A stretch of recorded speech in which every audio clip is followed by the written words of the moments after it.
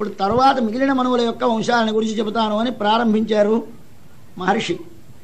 ప్రారంభించి ప్రతి ఒక మనువు అయిన తర్వాత మనొక మనువు రాగానే ఆ మనువు కాలంలో దేవతలు వేరు మన ఆఫీసర్స్ ఎలాగైతే మారుతూ ఉంటారో కలెక్టర్ వేరు తహసీల్దార్ పదవులు అలాగే ఉంటాయి. దానిలో మనుషులు మారినట్టే ప్రతి చోట కూడా ఆ ఆరు విషయములు మారుతూ ఉంటాయి. దేవతలు ఇంద్రుడు ఋషులు మనువు ఆ తర్వాత మరొకటి ఉంది ఆరు విషయములు ఇవి. ఆరు విషయములు యుగము. కాబట్టి ఇది ఏ యుగమో చెప్పాలి. ఆ యుగములో ఎవడు మనవో ఎనవడు మనువో చెప్పాలి. ఆ మనువులో సప్తరుషులు ఎవరో చెప్పాలి. అప్పుడు ఇంద్రుడు ఎవరు దేవతలు ఎవరు ఇవన్నీ మనకి చెబుతూ ఉంటారు ప్రతి దానిలోనూ. మనువు అనే ఆయన ధర్మమును శాసించి నియమించేవాడు.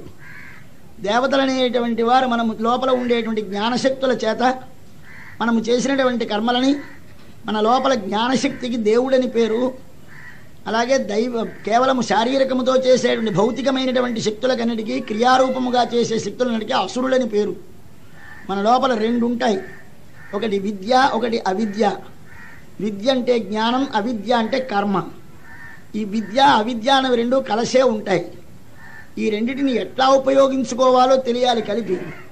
కేవలము కర్మ చేత మానవుడు సుఖమును పొందలేడు. కేవలము జ్ఞానం అనేది సాధ్యపడదు. కాబట్టి జ్ఞానమునకు కర్మమునకు సమన్వయం సమన్వయము తెలుసుకొని మానవుడు తనకు తన చోవున ప్రపంచమునకు సుఖము కలిగించడానికి కర్మని తాను తన కొరకు తనది అనే భావనని విడిచి చేయడానికి జ్ఞానం ఉండాలి వెనకాల. ఆచరించేటువంటి జ్ఞానము చేత తాను విశ్వమును ప్రేమించగలుగుతాడు. కాబట్టి జ్ఞానము కర్మ అనే వాటి యొక్క సమన్వయం మానవుడికి తెలియకపోతే మానవుడి జన్మ వ్యర్థము. కేవలముగా జన్మించి కేవలం పశువుల వలె తాను కూడా తిండి తింటూ పిల్లల్ని కంటూ నిద్రపోతూ భయపడుతూ దీనికే జీవితమును గడిపితే తాను పొందవలసినటువంటి స్థితి ఏదో తాను పొంది అనుభవించే శాంతి ఏమిటో అది పొందలేడు కనుక తాను పొందవలసినటువంటి శాంతిని పొందడానికి ఎట్లా కర్మను జ్ఞానమును వినియోగించాలి అనే విషయమును మనకు వివరించేదే భాగవతం. దీనికి మూలమైన భగవంతునితో సంబంధము తెలియాలి. దానికోసమని మనకి కథలన్నీ రకరకములైనటువంటి మొత్తం సృష్టి మొదలుకొని ఇప్పటి వరకు అన్ని విషయములు చెప్పుకొని వస్తున్నారు. ఆకూతి దేవహూతి అని ఇద్దరు అమ్మాయిలు మొట్టమొదట మనకి స్వయంభవ మనువుకి. వారిద్దరిలో ఆ దేవహూతి అనే ఆమెను కపిలునికి ఇచ్చారు. ఆ కర్తమ ప్రజాపతికి ఇస్తే ఆయన ఎందు కపిలుడనే ఆయన పుట్టి తల్లిగారికి బ్రహ్మజ్ఞానమును ఆత్మవిద్యను భక్తియోగాన్ని ఉపదేశించాడు ఆయన.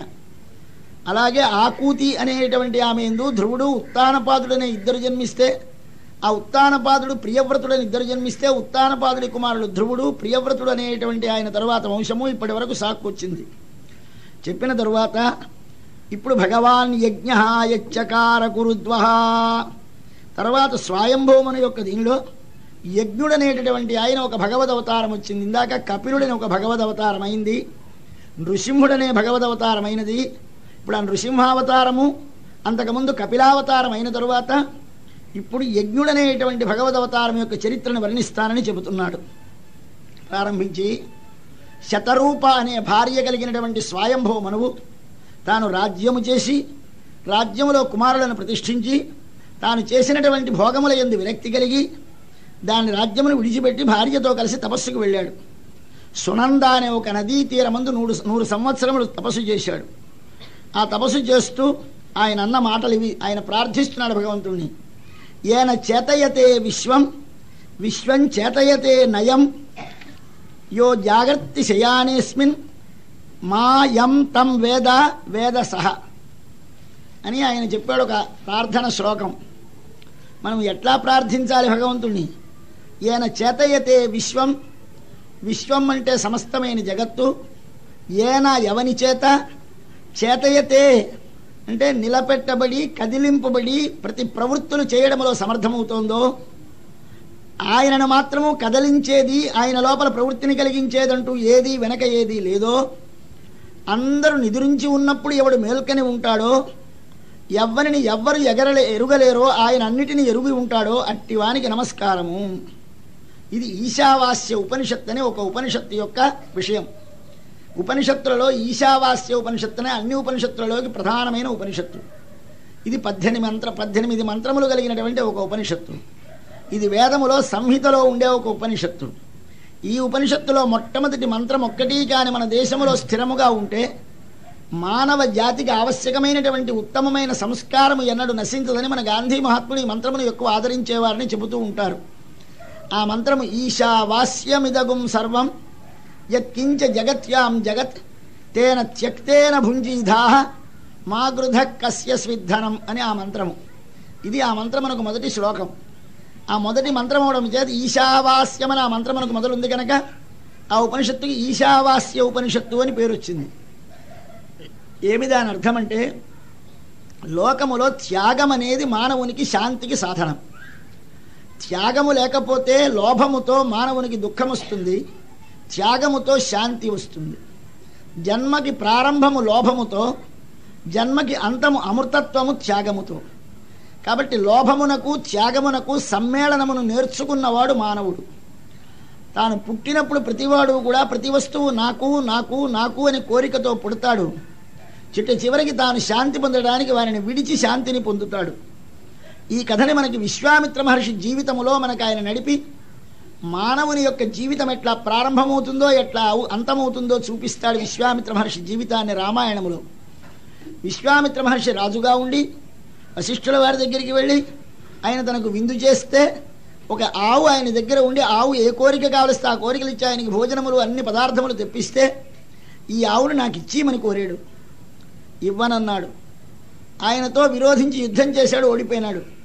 అరే ఒక బడుగు ఋషి చేతిలో ఏమీ లేకుండా నన్ను ఓడించేశాడే ఏమిటని ఆశ్చర్యపడి ఇతనిని ఓడించడానికి ఏమి చేయాలి అని ప్రయత్నం చేసి అస్త్రములతో జయించగలగమని తపస్సు చేశాడు. పరమశివుని గురించి తపస్సు చేసి అస్త్రములు సంపాదించాడు. ఆ అస్త్రములు తెచ్చి యుద్ధము చేసినా జయించలేకపోయినాడు. బ్రహ్మదండము పెట్టాడు. పెడితే ఓడిపోయినాడు. అయ్యా ఇది బయటి బలము బలము కాదు. లోపల ఒక బలం ఉన్నది. ఆ బలమును సాధించాలనుకున్నాడు. దానికే ఆత్మ బ్రహ్మ అని పేరు లోపల ఉండే వస్తువుకి. దాని బలము గలవాడికి శరీర బలం అనేది దాని ముందు తక్కువది. ఈ శరీరము యొక్క బలమునకు క్షత్రబలమని పేరు లోపల ఉండే బలమునకు బ్రహ్మబలమని పేరు.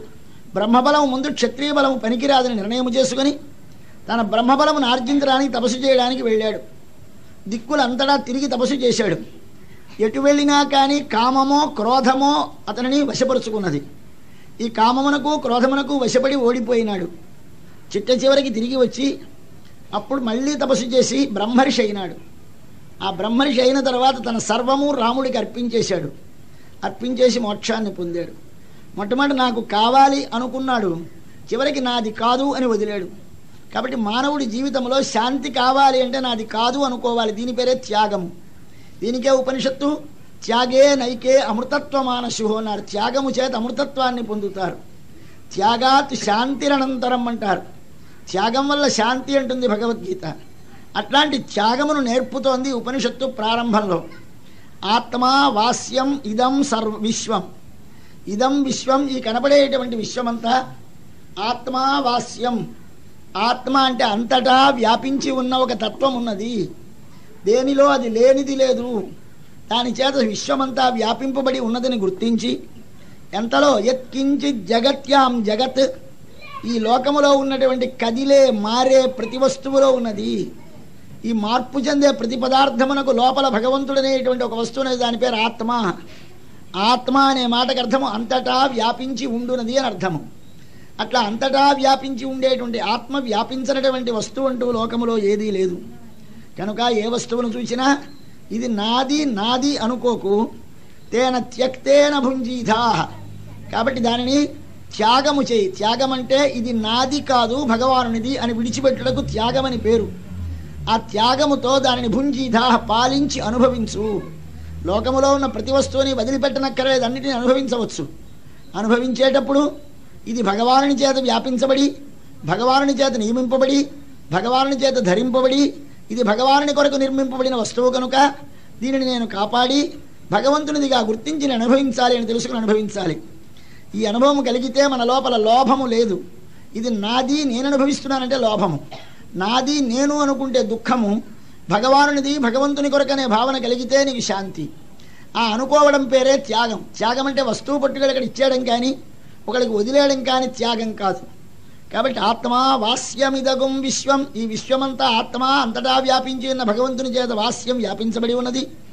ఎన్ని వస్తువులు ఎత్కించిది ఏ చిన్న వస్తువైనా జగత్యాం కదలిక చెంది మార్పు చెందే వస్తువులన్నిటిలోనూ జగత్తు దీనికంతకీ మూలమైన సూక్ష్మమైన పదార్థములలోనూ భగవానుడు వ్యాపించి ఉన్నాడు గనక తేనా అందుచేత త్యక్తేనా ప్రతి వస్తువుని నేను అనుభవించుచున్నాను ఇది నాది ఇది నా కొరకు అనే భావనను విడిచిపెట్టి భుంజీధా కాపాడుము అనుభవించుము. మాగృధ ఇది నాది నా కొరకు అనే భావన నా కోరికను విడిచిపెట్టుము. ఏమి ఎందుచేత? కస్యస్విద్ధనం ఏ వస్తువులను అనుభవించేటప్పుడు ఒక ప్రశ్న వేసుకో. ఇది ఎవడి సొత్తు? ఇది ఎవడి ధనము? అని ప్రశ్న వేసుకుంటే ఇది నాదా? నేను సృష్టించానా? నేను ఆర్జించానా? దీని పుట్టుకకు కారణం ఎవడు? ఇది నిలుచుటకు కారణం ఎవడు? ఇది నడచుటకు కారణం ఎవడు? వాడిది. వాడు భగవానుడని తెలుస్తుంది కనుక దేని ఎందు నాది అనేటువంటి భావన తగ్గుతుంది అని ఈశావాస్య ఉపనిషత్తు మొదటి మంత్రం. ఈ మంత్రము తెలియక మనము సంసారములో పడుతున్నాం. ఈ మంత్రం యొక్క అర్థము తెలిస్తే మనం విడిపడతాం. ఇదిగో ఇది గజేంద్ర మోక్ష కథ. ఇప్పుడు ముందు వస్తుంది గజేంద్ర మోక్ష కథ. దానికి ముందుగా అసలు ఉపనిషత్తు ప్రారంభించారు మహానుభావుడు సుఖమహర్షి. అయినా ఇదిగో ఇదయ్యా కావాలని కావాలని ప్రయత్నించి నాది నాది నేను నేననుకున్న దానివల్ల దుఃఖము పడి కలిగింది. నాది కాదు వానిది వాడే రక్షించాలి వాడిది వాడికి అర్పించాలి అనుకుంటే విడుదల విడుదల కలుగుతుంది. అప్పుడు అమృతము ఇప్పుడు మృత్యువు. ఇది మొసలి ఏనుగు కథ. దీనికి ఈశావాస్య ఉపనిషత్తులోంచి వస్తున్నాడు స్వామి ఉపన్యాసానికి. ఎం నపశ్యతి పశ్యంతం ఆయన ఎప్పుడు మన వైపు చూస్తూనే ఉంటాడు. ఎలాగున్నామో ఎప్పటికప్పుడు చూస్తూ ఉంటాడు. మన ఊసి ఏమైనా పట్టించుకుంటున్నాడా? మనం ఏమైనా అడుగుతున్నాడా? ఏమైనా మన వైపు తిరిగి మొరపెడుతున్నాడా? చూస్తాడు. కానీ మనకాయన కనబడు ఎం నపశ్యతి పశ్యంతం మన వైపు చూస్తున్న ఆయన్ని మనం చూడము. చక్షుర్యస్య నరిష్యతి. మన కన్ను కొంత దూరమే వెళుతుంది అవతల గోడ అడ్డు ఉండడమో లేదా మరొకటి అడ్డు ఉండడమో అవతల కనపడదు. ఆయనకి చూపుకి ఎక్కడ అడ్డనేటువంటిది లేదు ఆయనకి. ఆయన చె- అచక్షుష చక్షు లేదు. ఆయన కన్ను లేకుండా చూస్తాడు చెవి లేకుండా వింటాడు కాలు లేకుండా పరిగెడతాడు చేయి లేకుండా పుచ్చుకుంటాడు. అందుచేత నచక్షుషా పశ్యతి కశ్చనైనం. ఎవరిని కంటితో చూడ్డా ఆయన కన్ను లేకుండా చూస్తాడు. అటువంటి స్వామి అంతేకాకుండా తం భూత నిలయం. ఎక్కడున్నాడండి? కనపడడు. ఎక్కడున్నాడు? ఉన్నదని నువ్వు అనుకుంటున్న అన్నిటిలోనూ ఉన్నాడు ఆయన భూతము అంటే శరీరము కలిగినటువంటి జీవుడు. శరీరము కలిగిన జీవులన్నిటిలోనూ నిలయం. నిలయం అంటే బయటికి కనపడకుండా లోపల దాగి ఉన్నాడు. తం భూత నిలయం. అయితే దీని లోపల ఉంటే మనలాగే ఆయనకి కూడా అంటదా? ఈ అజ్ఞానం మాయా ఈ దుర్మార్గము ఈ దుర్ చెడు లక్షణములన్నీ శరీరంలో ఉన్నవాడికి అంటవా? దేవం.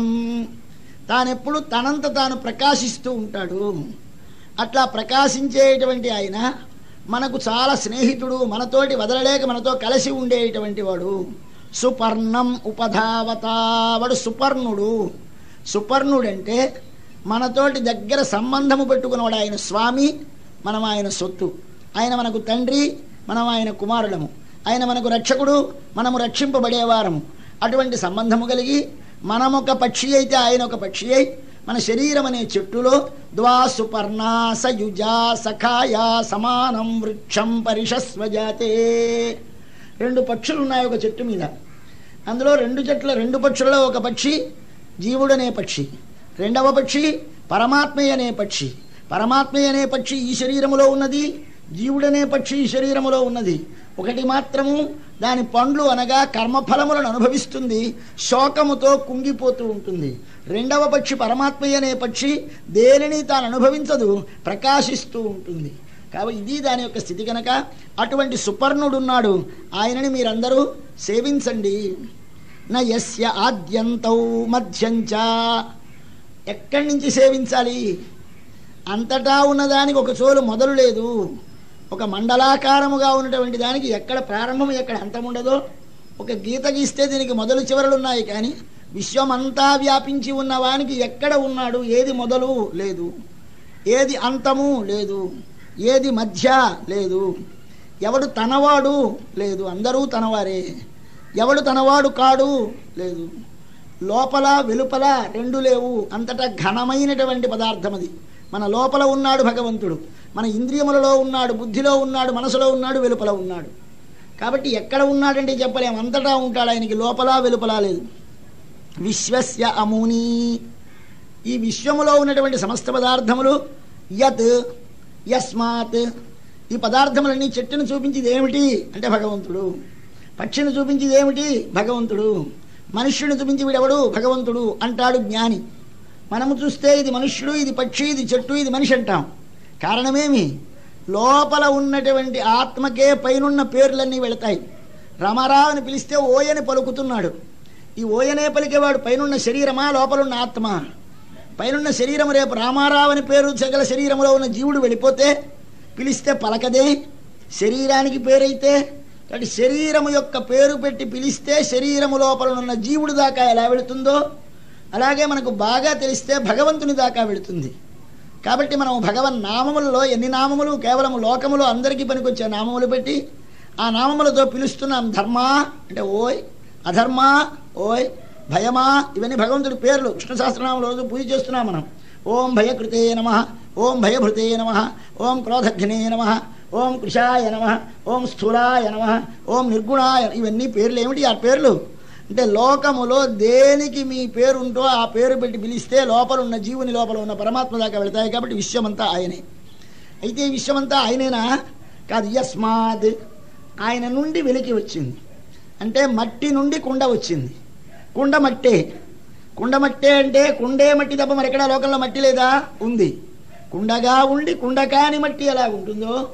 అలాగే భగవానుడు అనేవాడు ఒక చెట్టు అయితే మరి లేడా? ఉన్నాడు. ఆ భగవానుడి నుండి వచ్చినది. భగవానుడు దీని ఎందు ఉండడము చేత దీని పేరుతో పిలిస్తే భగవానుడి వరకు వెళుతుంది. అందుచేత యత్ యస్మాత్ విశ్వంచ తత్. దాని పేరేమిటండి? ఋతం. ఋతం అంటే సత్యం. సత్యం అంటే ఎల్లకాలముల యందు ఒకే రూపముగా మార్పు చెందకుండా జ్ఞానము కలిగి ఉండేటువంటిది కాబట్టి ఆయన్ని ప్రార్థిస్తున్నాడు స విశ్వకాయ విశ్వమంతా తన శరీరముగా కలవాడు. పురుహూత. పురు అనేక నామములతో హూత పిలవబడేవాడు. ఈశ అన్నిటి లోపల ఉండి నియమించేవాడు. సత్య ఈ చేతనమైన జీవుణ్ణి అచేతనమైన ప్రకృతితో కలిపేవాడు. స్వయం జ్యోతి తానందులో ఉండి ప్రకాశించేవాడు. అజహ తనకి పుట్టుక లేనివాడు.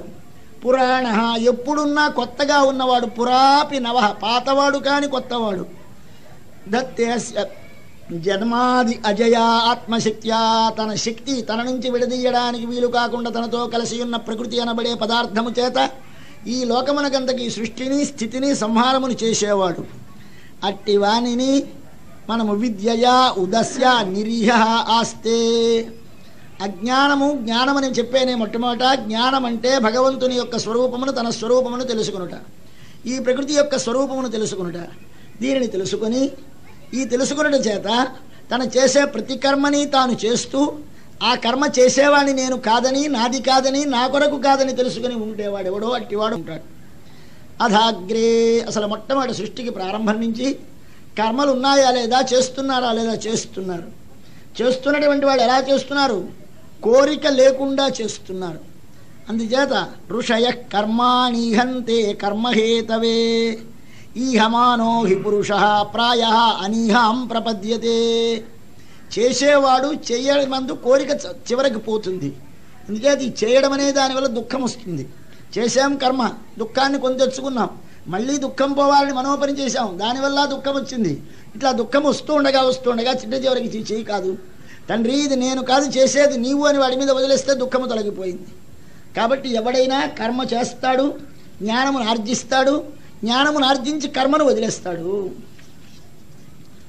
ఈ విధముగా భగవంతుడు తాను ఈ లోకములో అన్నిటిలోనూ ఉండి తాను ఎట్లా ప్రవర్తించాలో మనుష్యులకు శిక్ష చేస్తున్నాడు తండ్రి అని స్వయంభవ మనువు తపస్సు చేసి తన ప్రత్యక్షము చేసుకున్నటువంటి భగవాను స్తోత్రం చేశాడు. ఇది ఈశావాస్య ఉపనిషత్తు.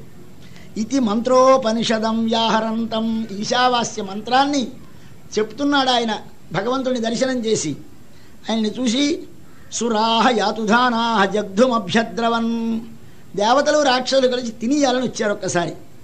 ఎవరిని? ఈ స్వయంభవ మనువుని చూశాడు. చూసి యజ్ఞ సర్వగతో హరి. ఆయన ఒంటి మీద స్మృతి లేకుండా కేవలం భగవద్ధ్యానంలో ఉంటే ఆయన్ని తినాలని రాక్షసులు దేవతలు వస్తే యజ్ఞుడనేటటువంటి భగవంతుని యొక్క అవతారం ఒకటి ఉంది. యజ్ఞావతారం అని ఆయన సాక్షాత్ నారాయణుడే. ఆయన వచ్చి అంతటా వ్యాపించి ఉండేవాడు. తన పుత్రుడైనటువంటి వాళ్ళతోటి కలిసి వాళ్ళందరినీ చంపి దేశాన్ని పరిపాలించాడు. అది ఆ స్వయంభవమను యొక్క చరిత్ర పూర్తయిపోయింది. తరువాత రెండవ మన్వంతరం స్వారోచిష మన్వంతరం. మొదటిది స్వయంభవ మన్వంతరం రెండవది స్వారోచిష మన్వంతరం. స్వరోచి అంటే స్వరోచి అనగా తనంత తాను ప్రకాశించేది అగ్ని. ఆయన మను అగ్ని సుతో భవతు. ఈయన అగ్ని కుమారుడు ఈ అగ్ని కుమారుడికి వీడికి మళ్ళీ కుమారుడు ద్యుమంతుడు సుషేణుడు రోచిష్మంతుడు మొదలైన కుమారులు. అప్పుడు ఆ స్వారోచిష మన్వంతరములో మనువు స్వారోచి స్వారోచిషుడు. అప్పుడు ఇంద్రుడు రోచనుడు దేవతలు తుషితాదులు ఋషులు ఊర్జస్తంభుడు మొదలైనటువంటి ఏడుగురు సప్త ఋషులు. ఈ విధముగా అప్పుడు అందరూ ఒక్కొక్క పదవిలో ఒక్కొక్కరు చొప్పున అందరూ ఉన్నారు. ఆ ఋషి వేదశిరస్సు అనేటువంటి వానికి తుషితులనే తుషిత అని ఒక ఆమె భార్య. ఆమె ఎందు దేవుడు విభువు అనే పేరు కలిగినటువంటి స్వామి కలిగే ఒక కుమారుడు కలిగాడు. ఈ విధముగా వారు ఆ మన్వంతర పరిపాలన అయిపోయిన తరువాత మూడవ మన్వంతరమునకు ఉత్తముడని మనువు. ప్రియవ్రతుడి కుమారుడు ఉత్తముడు. ఈనాడు కూడా దేవతలు అలాగే ఋషులు ఇంద్రులు సప్తఋషులు వేరువేరుగా ఉండేవారు. నాలుగో మన్వంతరం వచ్చింది. ఈ ఉత్తముడి యొక్క సోదరుడైనటువంటి తామసుడు అనేవాడు వచ్చాడు. కాబట్టి చాక్షుష మన్వంతరం అయిన తర్వాత ఉత్తమ ఉత్తమ మన్వంతరం అయిన తర్వాత తామస మన్వంతరం వచ్చింది అప్పుడు కూడా అలాగే ఋషులు వారందరూ ఉన్నారు. ఈ తామస మన్వంతరంలో నాలుగవ మన్వంతరములో హరిణి అనేటటువంటి భార్య ఎందు హరిమేధసుడు అనేటటువంటి ఆయనకి సాక్షాత్తు భగవానుడు హరి అనే పేరుతో పుట్టాడు. ఆ హరే గజేంద్రుణ్ణి మొసలి నోటి నుండి రక్షించాడు అని చెప్పాడు శుకులవారు. చెబితే అక్కడ రాజుగారు ప్రశ్న వేస్తున్నారయ్యా బాగుంది. ఏమిటి? హరి వచ్చి ఏనుగుని విడిపించడమా? ఈ ఏనుగు కోసం హరి రావాలా? ఎవడు చంపలేడు ముసలిని లోకల్లో ఇంతమంది ఉంటే హరి వచ్చి మొసలిని రక్షించారన్నారు ముసలి మొసలి పట్టుకుంటే ఏనుగుని రక్షించారన్నారు తత్కథ ఆ కథ చాలా గొప్పదని నేను ఇంతకుముందు విన్నాను. చాలా మంచి కథని పవిత్రమైన కథని మనకు చారితార్థ్యమును కలిగించే కథకని మనకి మంగళమును కలిగించే కథని అక్కడ భగవంతుడైన హరి కీర్తింపబడతాడని విన్నాను గనక ఆ విషయం నాకు చెప్పవలసింది అని ప్రార్థిస్తే పరీక్షిత్తు అప్పుడు సుఖమహర్షి ప్రారంభించాడు గజేంద్ర మోక్ష కథ. ఇది మనకి సాధారణంగా పూర్వం నుంచి మనకు చాలా ప్రసిద్ధం ఈ కథ. మనకి తెలుగు జాతికి పోతన గారు భాగవతం అని తెలుగులో రాసి పెట్టారు. సంస్కృత భాగవతం కంటే మనకి తెలుగు భాగవతం బాగా మన వారికి తెలుసును అందరికీ. పద్యాలు కూడా చాలా పద్యాలు మన వారికి వచ్చును. ప్రహ్లాద చరిత్రలోవి గజేంద్ర మోక్షంలోవి వామన చరిత్రలోవి కృష్ణలీలలోవి వచ్చిన వాళ్ళు చాలామంది ఉంటారు. కానీ ఇక్కడ సంస్కృత భాగవతమే చెబుదామని నేను సిద్ధపడ్డాను. అందుచేత తెలుగు పద్యాలు నాకు రాక చదవడం నాకు అంత ఇష్టం లేక ఎందుకంటే సంస్కృతంలో శుకుల వారు పరీక్షిత్తుకు చెప్పాడు కనుక అదే మనం చదువుదామనేటువంటి భావనతోటి అదే చెబుతున్నాను ముఖ్యంగా. అందుచేత మధ్యలో ఏవో పద్యాలు తీసి చదివినా అసలు వ్యా వ్యాసుల వారు రచించినటువంటి శుకుల వారు చెప్పినటువంటి భాగవతమే మీ ముందు విజ్ఞాపనం చేస్తాను. ఆసీద్గిరివరో రాజన్ త్రికూట ఇతి విశ్రుత. ఇది పూర్వం మన వాళ్ళు తెల్లవారుధామన పాట కింద కూడా పాడుకుంటూ ఉండేవారు. త్రికూటం అనే పర్వతం ఉన్నదని. దీనికి మూడు శిఖరాలు. త్రి అంటే మూడు కూటం అంటే శిఖరాలు. మూడు శిఖరాలు గల ఒక కొండ. దానికి చుట్టూ పాల సముద్రం. ఆ పర్వతం ఎంత ఉన్నది అంటే యోజనాయుతముశ్రిత కొన్ని వేల మైళ్ళు ఎత్తుంది. తావతా విస్తృత ఎంత ఎత్తుందో అంత వెడల్పుంది ఆ పర్వతం. పర్యక్ అంతటా త్రిభిశృంగై మూడు శిఖరాలు. ఆ మూడు శిఖరాలు ఒకటి వెండి శిఖరం ఒకటి ఇనప శిఖరం ఒకటి బంగారు శిఖరం. మూడు శిఖరములతో ప్రకాశింపజేస్తోంది. ఇదంతా మన కథ కింద వస్తుంది చివరికి ఇవన్నీ జ్ఞాపకం పెట్టుకోండి. పాల సముద్రం మధ్యలో కొండ కొండకి మూడు శిఖరాలు అందులో ఒకటి వండి వెండి శిఖరం ఒకటి ఇనప శిఖరం ఒకటి బంగారు శిఖరం మూడు శిఖరాలు. ఆ కాంతులకి దిక్కులన్నీ ప్రకాశిస్తున్నాయి.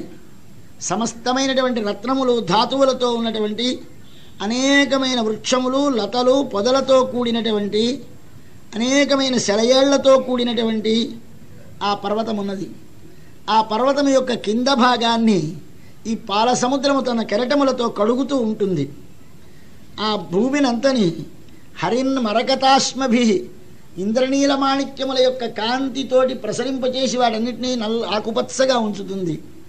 ఆ పర్వతము మీద సిద్ధులు చారణులు గంధర్వులు విద్యాధరులు ఉరగులు కిన్నరులు అప్సరసలు కూడా క్రీడిస్తూ ఉంటారు. అక్కడ ఎప్పుడూ సంగీతము మారుమోగుతూ ఉంటుంది. గుహలలో సంగీతము మ్రోగడము చేత ప్రతిధ్వనిస్తూ ఉంటుంది ఆ పర్వతము. అక్కడ సింహములు గర్జిస్తూ ఉంటాయి. ఆ అరణ్యములో ఉండే పశువులు ఆ పశువులతో నిండినటువంటి అక్కడ లోయలు ఉన్నాయి. ఇక్కడ చిత్ర చిత్రమైన వృక్షములు. కలకంఠములంటే నెమళ్ళు. అనేక రకములైన పక్షులు. అందులో చక్క అందమైనటువంటి స్వచ్ఛమైన జలములు కలిగినటువంటి సరితు నదులు సరస్సులు రెండు ఉన్నాయి. మంచి ఇసుక తిన్నెలు. ఆ ఇసుక తిన్నెలలో ఇసుక మెరుస్తూ ఉంటుంది. మనుల యొక్క రసనులాగు మెరుస్తున్న ఇసుకలు కలిగినటువంటి ఇసుక తిన్నెలు.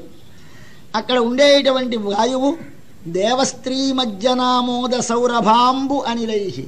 దేవతా స్త్రీలు వచ్చి అక్కడ సరస్సులలో సర నదులలో స్నానం చేస్తారు. అందువల్ల వారు ధరించినటువంటి ఆ చందనాదుల యొక్క పరిమళముతో గాలి పరిమళిస్తూ ఉంటుంది. ఆ పర్వతము యొక్క ఒక లోయలో వరుణుడనేటువంటి ఆయన ఆయన యొక్క ఉద్యానమున్నది. దాని పేరు ఋతుమత్ అని ఆ ఉద్యానమునకు పేరు. ఆ ఉద్యానము కూడా అందులో ఉన్నది. అది అంతటా అలంకరింపబడిన ఉద్యానం. ఎప్పుడూ అన్ని రకముల పూలు పండ్లు చెట్లు ఉంటాయి అందులో. దానిలో మందారములు పారిజాతములు పాటలములు అశోకములు చంపకములు సూతములు ప్రియాలములు పనసములు ఆమ్రములు ఆమ్రాతకములు క్రమకములు నాలికేరములు జర్జూరములు బీజపూరములని ఒక పెద్ద లిస్ట్ ఇచ్చేశాడు చెట్ల లిస్టు. అటువంటి రకరకములైనటువంటి వృక్షములన్నీ ఉన్నాయి.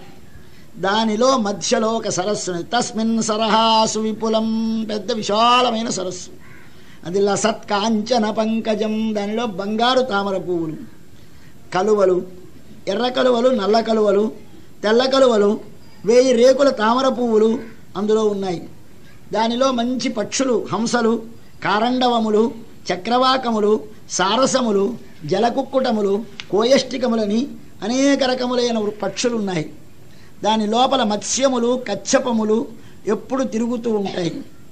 దాని చుట్టూ ఉన్నటువంటి ఆ వృక్షముల యొక్క కాంతి ఆ వృక్షముల యొక్క ప్రతిబింబమును నది ఆ సరస్సులో పడుతూ ఉంటే చాలా విచిత్రమైన శోభలు ఈనుతూ ఉంటుంది. అటువంటి సరస్సు కలిగినటువంటి ఒక అడవిలో ఏకదా ఒకప్పుడు తద్గిరి కాననాశ్రయ అడవిలో ఉన్నటువంటి ఆ కొండ దగ్గర అడవిలో ఒక ఏనుగులు ఉన్నాయి ఒక గుంపు. దానిలో కరుయేణుభి వారణయూధపశ్చరన్ ఒక్క మగ ఏనుగు తొమ్మిది లక్షల ఆడ ఏనుగులు మంద. ఈ ఆడ ఏనుగుల మందకి ఒక్క ఏనుగే మగ ఏనుగ. వాటితో అది తిరుగుతూ ఉండేది. అది తిరుగుతూ ఉంటే సకంటకాన్ కీచక వేణు వేత్రవద్విశాల గుల్మం ప్రరుజన్ వనస్పతిన్. అది నడుస్తూ ఉంటే దాని కాళ్ళకి తగులుకొని పెద్ద పెద్ద తీగలు తీగలతో పాటు చెట్లు దాని తొండముతో ఊడదీకి కాళ్ళ మధ్య పడేసి తోసుకొచ్చేసేది. యద్గంధమాత్రాత్ దాని ఆ ఏనుగు యొక్క వాసనకి హరయ గజేంద్రా వ్యాఘ్రాదయ వ్యాళమృగా సఖడ్గా మయోహరగా భయాద్రవంతి. దాని ఏనుగు వాసన వస్తోందంటే అడవిలో ఉన్నటువంటి మిగిలిన ఏనుగులు సింహాలు పెద్ద పులులు క్రూర మృగములు ఖడ్గమృగములు పాములు కూడా పారిపోతూ ఉండేవి. ఆ ఏనుగుల మంద వస్తూ ఉంటే అక్కడ తోడేళ్ళు ఏదుబందులు ఎనుబోతులు కొండ కొండముచ్చులు గోపుచ్చములని ఒక జాతి కలిగినటువంటి జంతువులు మర్కటములు కోతులు లేళ్ళు అవన్నీ కూడా భయపడి పారిపోతూ ఉండేవి. పర్వాలేదన్నట్టు ఊరుకుంటే ఉపేక్షిస్తే ఆ పక్కలను చుట్టుపక్కల తిరుగుతూ ఉండేవి. ఒకనాడు ఇట్లా అరణ్యంలో తొమ్మిది లక్షల ఏనుగులతోటి తిరుగుతున్నటువంటి ఆ మగ ఏనుగ ఘర్మతప్త బాగా వేసవి కాలము.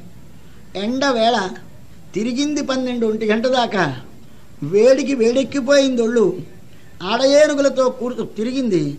కొన్ని పిల్ల ఏనుగులు తనను అనుసరిస్తున్నాయి. ఆ కొండ చుట్టూ తిరిగి కొండనంతని తిరిగి తిరిగి తిరిగి వచ్చింది సరస్సు దగ్గరికి. చూసింది అక్కడ మంచి తామర పువ్వుల పుప్పొడితోటి పర పరిమిళితమవుతూ ఉండేటువంటి జలములు చూసింది. ఆ వాసనని చూచి స్వయూధేనా తన మందతో కలిసి ఆ చెరువులో దిగింది. దాహము కోసమని. సరోవర అభ్యాసమధాగమద్రుతం. ఆ సరోవరం దగ్గరికి వచ్చింది. విగాహ్యా. దాని లోపలికి చొచ్చింది అమృతాంబు నిర్మలం అమృతము వంటి నీళ్ళు తీయని జలములు స్వచ్ఛమైన జలములు బంగారు తామర పువ్వుల పరాగముతో పరిమిళితమైన జలములు. ఒకసారి తన తొండముతో తీసి తన మీద జల్లుకొని తాను త్రాగి బడలికి తీర్చుకొని తమ ఆడయేనుగులకి తన తొండముతో ఎత్తి వాటి నోట్లోకి అందిస్తూ వాటిని స్నానము చేయిస్తూ త్రాగిస్తూ విలాసముగా ఆడుకుంటోంది. గృణీకరుణో కలభాంశ్చదుర్మధో నాచష్ట కృచ్ఛరం కృపణ అజమాయయా. కానీ పాపం అయ్యో రాబోతోంది కష్టమని తెరగి తెలియదా ఏనుక్కి. ఏదో మంచి విలాసంగా ఆనందిస్తోంది. ఆనందిస్తున్నటువంటి ఆ ఏనుగుని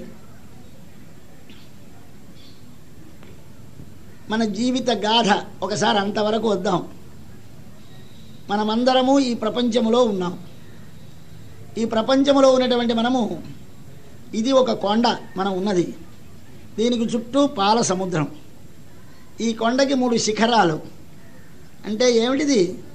ఒకటి సత్వగుణం ఒకటి రజోగుణం ఒకటి తమోగుణం. సత్వగుణం బంగారంలా ప్రకాశిస్తుంది. రజోగుణం వెండిలా ఉంటుంది. తమోగుణం ఇనుములా ఉంటుంది. ఈ మూడు కూటములు కలిగినటువంటి ఒక పర్వతం అది ఉన్నది. మధ్యలో త్రికూటమని ఒక పర్వతం. ఆ పర్వతమునకు చుట్టూ పాల సముద్రం ఉన్నది ఈ పాల సముద్రము మధ్యలో ఉన్నది ఈ కొండ. పాల సముద్రం అంటే భగవానుడు భగవంతుని కళ్యాణ గుణములతో నిండి దాని మధ్యలో ప్రకృతి ఉన్నది. కాబట్టి ఆ పాల సముద్రం అనేది భగవంతుడు ఉండే చోటు. భగవంతుడి యొక్క కళ్యాణ గుణములు. ఈ కొండ మీద మకాన్ చేసి ఉన్నది ఒక ఏనుగ. కొండ యొక్క అందాలు వర్ణిస్తే మనం ఈ లోకములో ప్రకృతిలో ఉండే సర్వ సౌందర్య రాశిని అనుభవిస్తాం. అటువంటి చెట్లు అంటే మనకి మూడు రకములు. భోగ్య భోగోపకరణ భోగస్థానములని మూడింటిని ఇచ్చాడు భగవానుడు. భోగ్యములంటే మనం అనుభవింపదగిన పదార్థాలు సృష్టించాడు కొన్నింటిని. భోగోపకరణములంటే వాటిని అనుభవించడానికి సాధనాలు ఇచ్చాడు. భోగస్థానం అంటే అనుభవించే చోట్లు ప్రదేశాలు ఇచ్చాడు. ఇల్లు ఇచ్చాడు శరీరం ఇచ్చాడు తినడానికి అనుభవించడానికి పిల్లల్ని పాపల్ని పిండి వంటల్ని భోజనాలు పెట్టాడు. ఈ అనుభవించేటువంటి పిల్లలు పాపలు తినే పదార్థాలు వాసన చూసేవి ఇవన్నీ భోగ్యములు అనుకోండి మనం అనుభవించే ఇల్లు భోగస్థానం. ఆ తరువాత భోగ ఉపకరణం మన శరీరం ఇంద్రియములు. కాబట్టి భోగ్య భోగోపకరణ భోగస్థానములు మూడు కూడా ఒకటే వస్తువు. ఇదే ప్రకృతి. ఈ ప్రకృతిని మలచి ఒకదానినేమో మనం అనుభవించేటువంటి పిండి వంటగా తయారు చేశాడు. ఒకదానిని మనం అనుభవించే భార్యగా తయారు చేశాడు. మరొకటి మలచి అనుభవించే వీణిగా చేశాడు. మరొక దానిని వీడు అనుభవించడానికి మనకు వచ్చే ఇంద్రియములుగా మనస్సుగా బుద్ధిగా చేశాడు. కాబట్టి ఇదంతా కలిపి ఒకటే పదార్థం మనకు తెలియక వేరు వేరు అనుకుంటున్నాం. ఈ విధముగా అడవిలో చెట్లు పువ్వులు పళ్ళు నెమళ్ళు కోకిలలు ఓ ఓ ఎన్ని వర్ణించాడో వర్ణించాడు. చూశాడు. ఆ ఏనుగు తొమ్మిది వేల ఏనుగు నవ లక్ష తొమ్మిది లక్షల ఏనుగులతో ఉంది. ఈ తొమ్మిది లక్షల ఆడ ఏనుగులు తన చేత నియమింపబడేవి. ఇది మగ ఏనుగు. దీనికి అడ్డు లేదు. అంటే మన శరీరములో మనము లోపల ఉన్న ఆత్మ జీవుడనేటువంటి వాడు మగ ఏనుగు. వాడు పురుషుడు. వాడి చేత నియమింపబడి వాడి చేత అనుభవింపబడేటటువంటివి ఎన్నో రకములైనటువంటి వృత్తులు అంటారంటే వృత్తులు చిత్త వృత్తులు.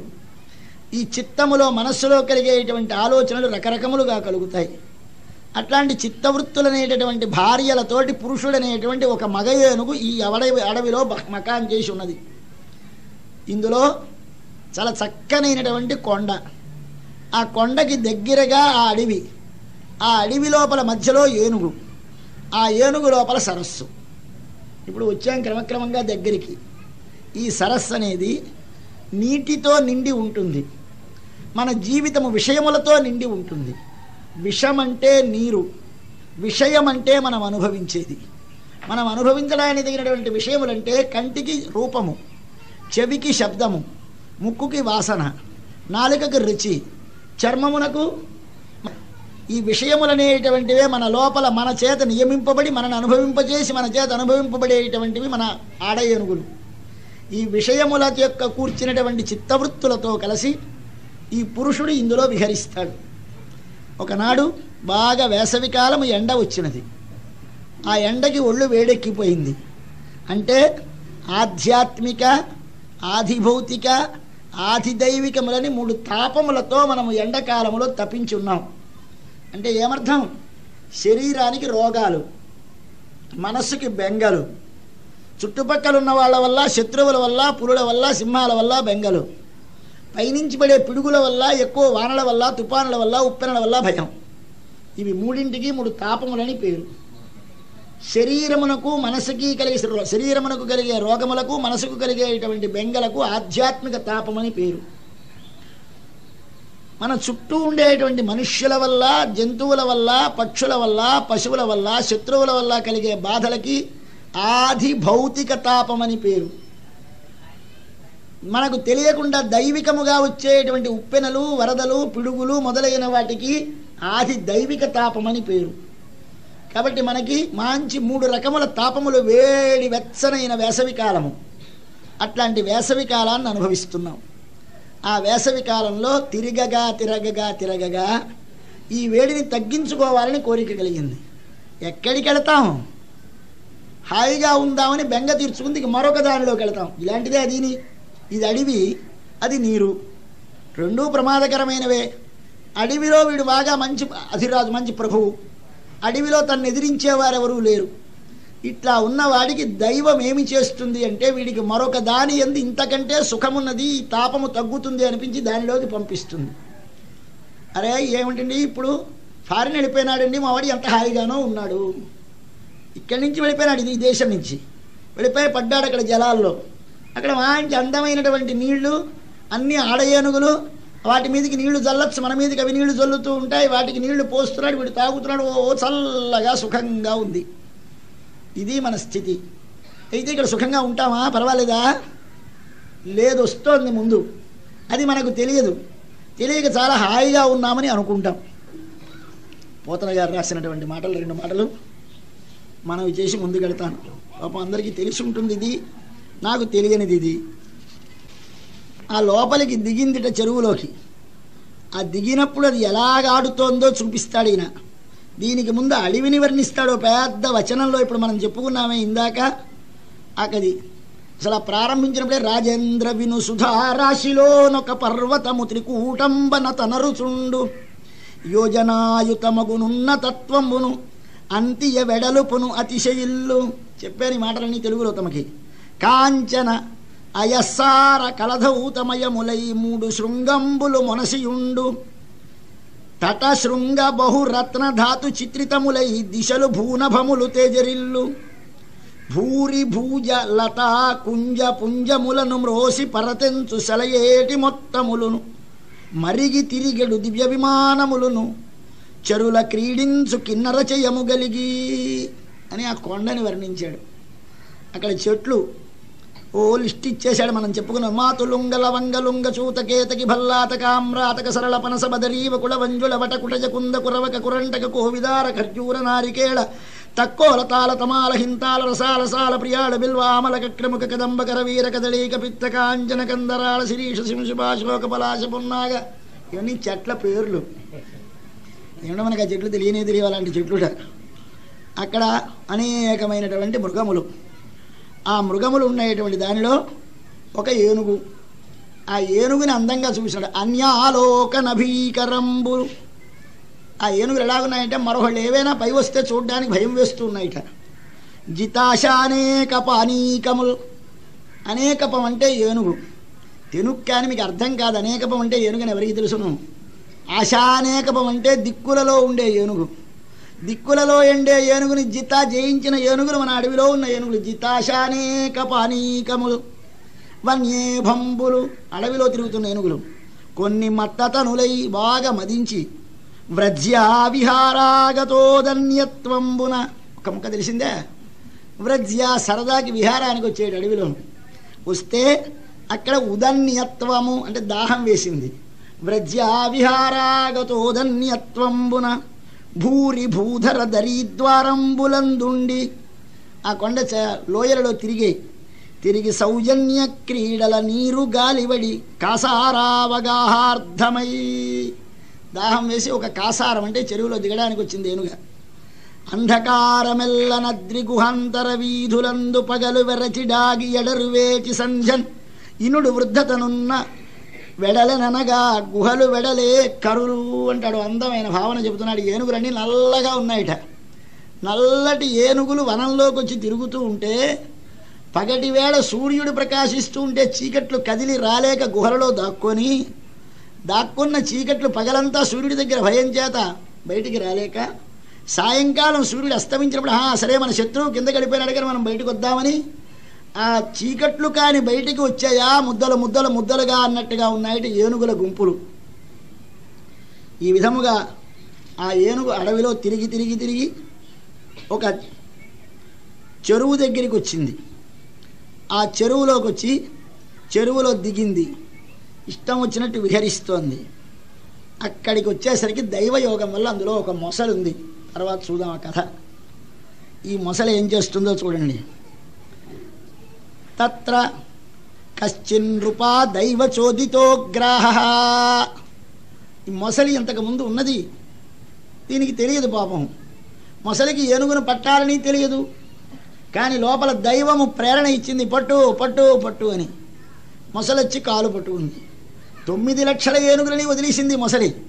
ఈ ఒక్క మగ ఏనుగును పట్టింది. తన్ తత్ర కశ్చిత్ నృప దైవ చోదితోగ్రాహ బలియాన్. చాలా బలమైనది ఆ మొసలి. చరణే రుషాగ్రహీత కోపంతో వచ్చి వచ్చింది వచ్చేసరికి యదృచ్ఛయైవం వ్యసనంగతో గజో యథాబలం సో అతిబలో విచక్రమే. ఇలా మనం నీళ్ళల్లో ఉన్నప్పుడు ఏదైనా ఇలా కాలికి తగిలింది చల్లని కాళ్ళు ఆగమండి ఇలా దులుపుతాం. అలాగే మొసలి కాలికి పట్టుకోగానే అనుకోకుండా కాలికి ఏదో తగిలింది పట్టుకున్నదని అరే కరిచింది అనుకుంది ఏనుగా.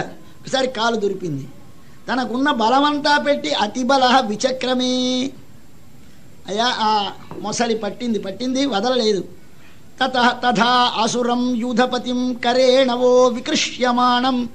విచుకృషుర్దీనధియో అపరే గజా పార్ష్నిగ్రహా తారయితం నచాశకన్ మొసలి పట్టింది తులపగానే ఒకటి పడ్డది మళ్ళీ పట్టుకుంది మరి వదలలేదు. ఈ ఆడ ఏనుగుల్ని పట్టలేదు మొసలి? ఈ ఆడ ఏనుగులు చూసాయి. లాగేస్తోంది మొసలి లోపలికి. తమకి బలం ఉంది కానీ ఏమీ చేయలేవు. చేయలేక ఒక్కసారి దీనధీయ దైన్యం పడిపోయి అయ్యో అయ్యో అయ్యో అని మన పిల్లలు అడుగు పెద్దవాళ్ళదా మన వాళ్ళు ఎవరైనా బాధపడుతూ ఉంటే చూస్తూ మనం ఏమిటి చేస్తాం? ఏడవడం తప్ప. అలాగే విచుకృషు మొర్రపెట్టే అన్నీని. ఆయనని ఏమి మొసలి నోటి నుండి తరింప చేయడానికి సమర్థత లేనివైపోయినాయి ఇప్పుడు మొసలి ఏనుగు రెండు యుద్ధం చేస్తున్నాయి. నియుధ్యతో ఏవం. రెండు యుద్ధం చేస్తూ ఉంటే రెండు వికర్షతో అంతరత బహి. లోపలికి లాగుతోంది మొసలి. వెలికి లాగుతోంది మొసలిని ఏనుగు. ఇలాగ సమాహ సహస్రం యగమన్. ఒక వెయ్యి సంవత్సరాలు గడిచిపోయింది. లోపలికి లాగను వెలికి లాగను. మహీపతే సప్రాణయో చిత్రమమం సతామరా రెండు చచ్చిపోలేదు రెండు బతికున్నాయి. దేవతలందరూ ఆశ్చర్యపడిపోతున్నారు ఏమిట్రా వింత? ఏదీ జయించలేకుండా ఉందని.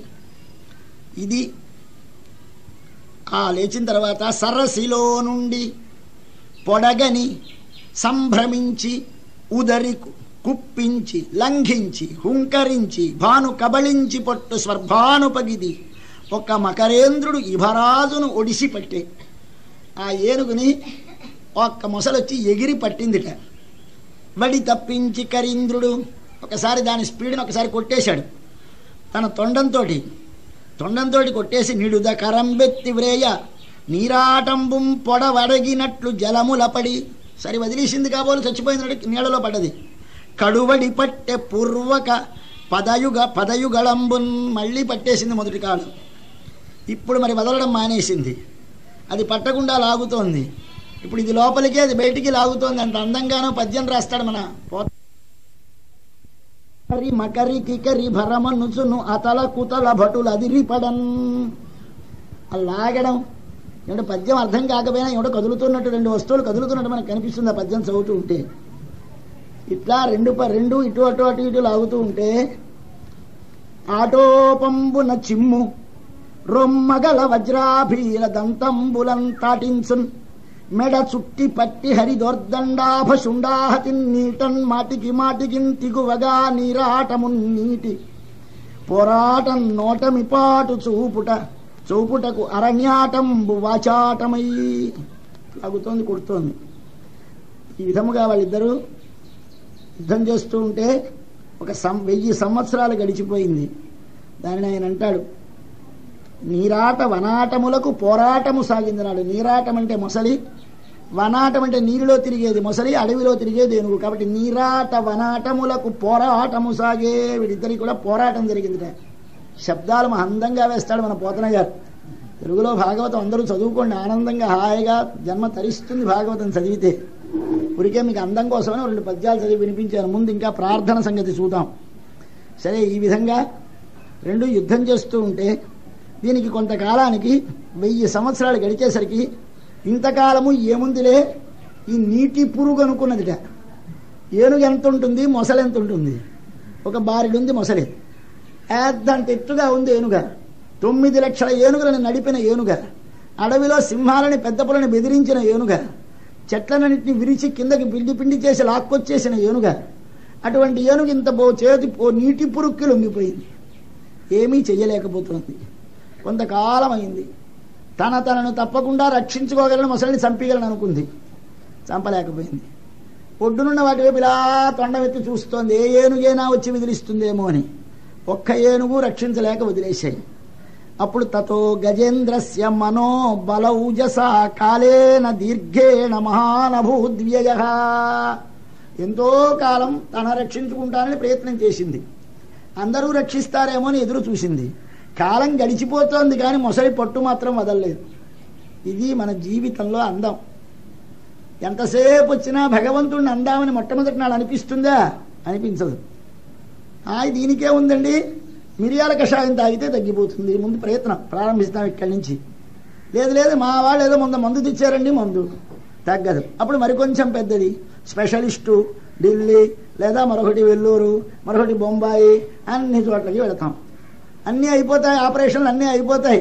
దీంతో కాలం గడిచిపోయింది. ఇంతసేపు పోనీ ఒక్క మాట తండ్రి అందామా అనిపించలేదు.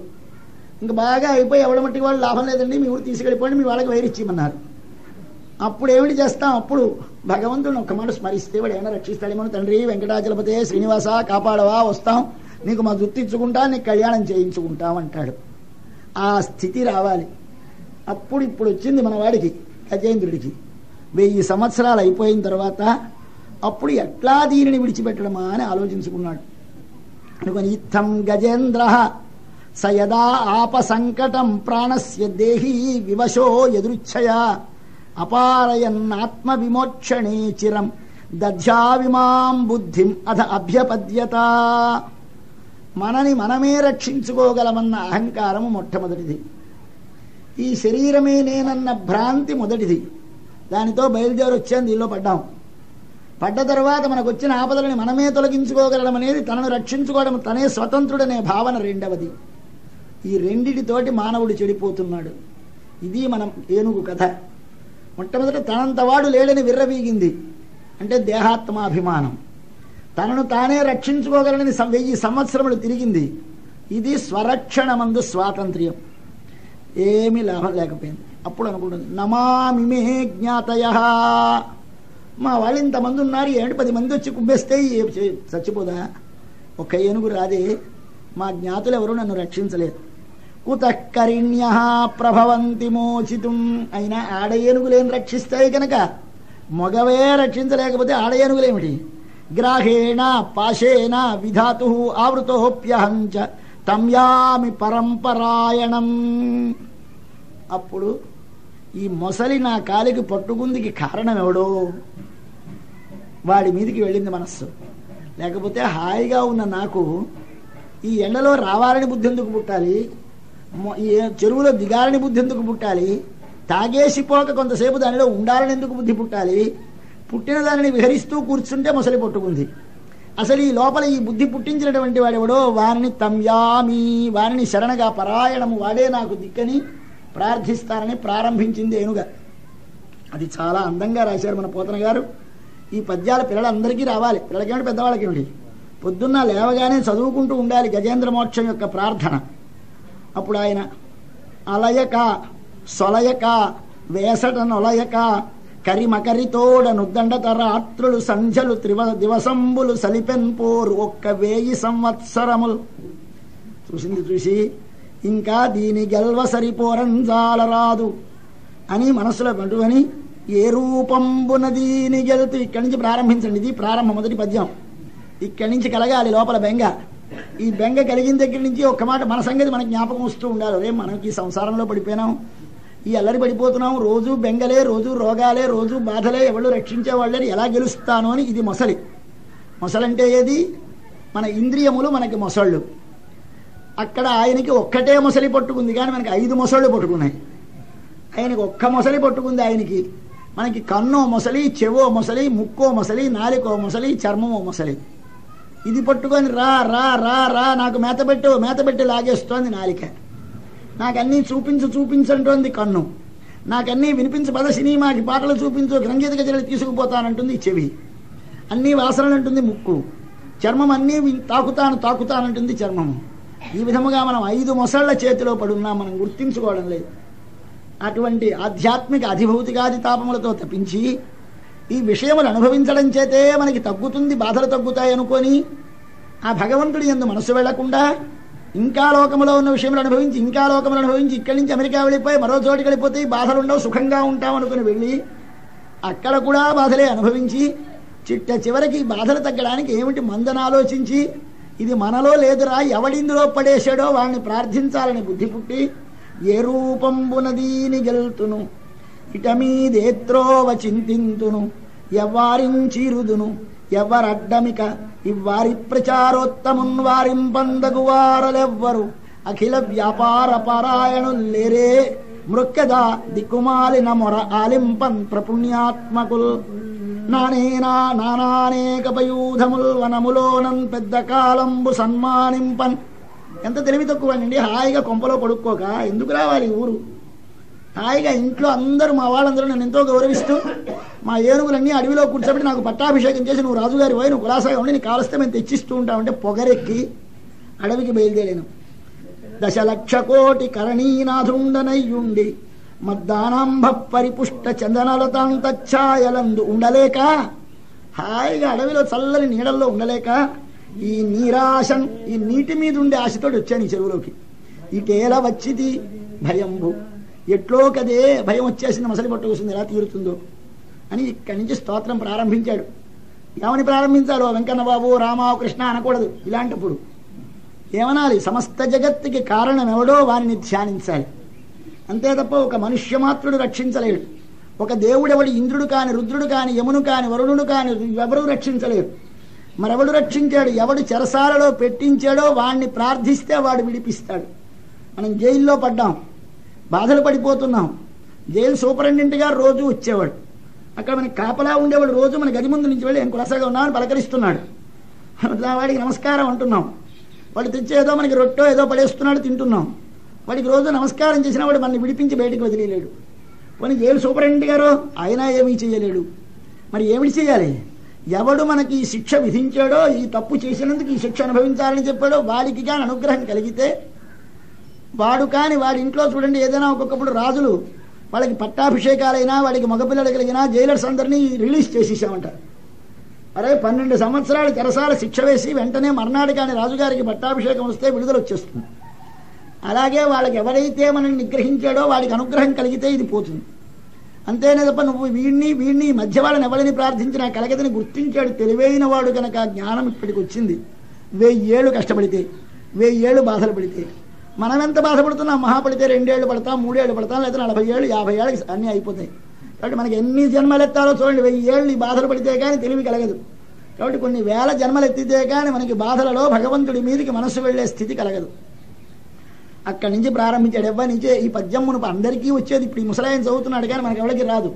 ఎవ్వనిచే జనించు జగము. ఎవ్వని లోపల నిండు లీనమై ఎవ్వని ఎందుడిందు పరమేశ్వరుడెవ్వడు మూల కారణం వెవ్వడనాది మధ్యలయుడెవ్వడు సర్వము తానయైన వాడెవ్వడు వానిని ఆత్మభువుని ఈశ్వరుని శరణంబు వేడదన్నని మొట్టమొదటి వాణ్ణి ప్రార్థించాడు. ఎవడి చేత ఈ లోకమంతా సృష్టింపబడుతోంది? ఎవని లోపల ఈ లో ఈ జ- ఈ ప్రపంచమంతా మళ్ళీ లయములో చేరుతోంది. ఎవనిచే జనించు అంటే సృష్టికి కారణం ఎవడు ఎవ్వని లోపల నుండు లీనమై అంటే ప్రళయములో ఇదంతా వెనక్కడిపోయినప్పుడు ఎక్కడిలో ఉండిపోతుంది? ఎవ్వని ఎందుడిందు అంటే అర్థం చెప్పాలి. ఎవ్వని ఎందుడిందు అంటే అర్థమేమిటి? ఇద ఇదంతా అప్పుడు మళ్ళీ ప్రళయంలో విడిపోవడం కాదు. మనమందరము మోక్షమును పొందినప్పుడు వాని దగ్గర చేరి వాడి దగ్గర ఉంటుంది. ప్రళయములో కనపడకుండా మరుగుపడిపోయి వాని ఎందుంటుంది వాడికంటే వేరుగా. మోక్షములో వాడి వంటి రూపము కలిగి జ్ఞానము కలిగి వాడితో చేరి ఉంటుంది. ఇప్పుడు ఉన్నప్పుడు వాడు లోపల ఉండి మనని నడిపిస్తున్నాడు. పరమేశ్వరుడు ఎవ్వడు ఇన్నిటికి మూల కారణం ఎవ్వడు మనం ఏమని ప్రార్థించాలి? మూలా మూలా అని పిలిచేట గజేంద్రుడు. ఏమీ పిలవలేదు. ఓ దేవుడి పేరు పెట్టి పిలవలేదు. మూల కారణం మూల కారణం కాబట్టి ప్రతివారు కారణమేమి అని తెలుసుకొని ఆ కారణమైన భగవానుని ప్రార్థించాలి.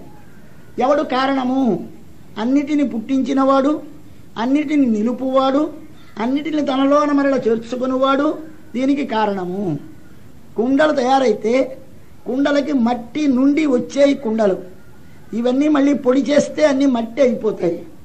ఉన్నప్పుడు లోపల వాటి లోపల మట్టి ఉంటుంది. కాబట్టి ఉన్నప్పుడు మనందరి లోపల ఉన్నవాడు కరిగిపోయినప్పుడు ఎవని లోపల చేరిపోతామో ఎవనిలో నుండి వచ్చేమో అట్టివాడు ఒకడున్నాడు అట్టి వాణిని నేను శరణ పొందుతాను అని ప్రార్థించాడు.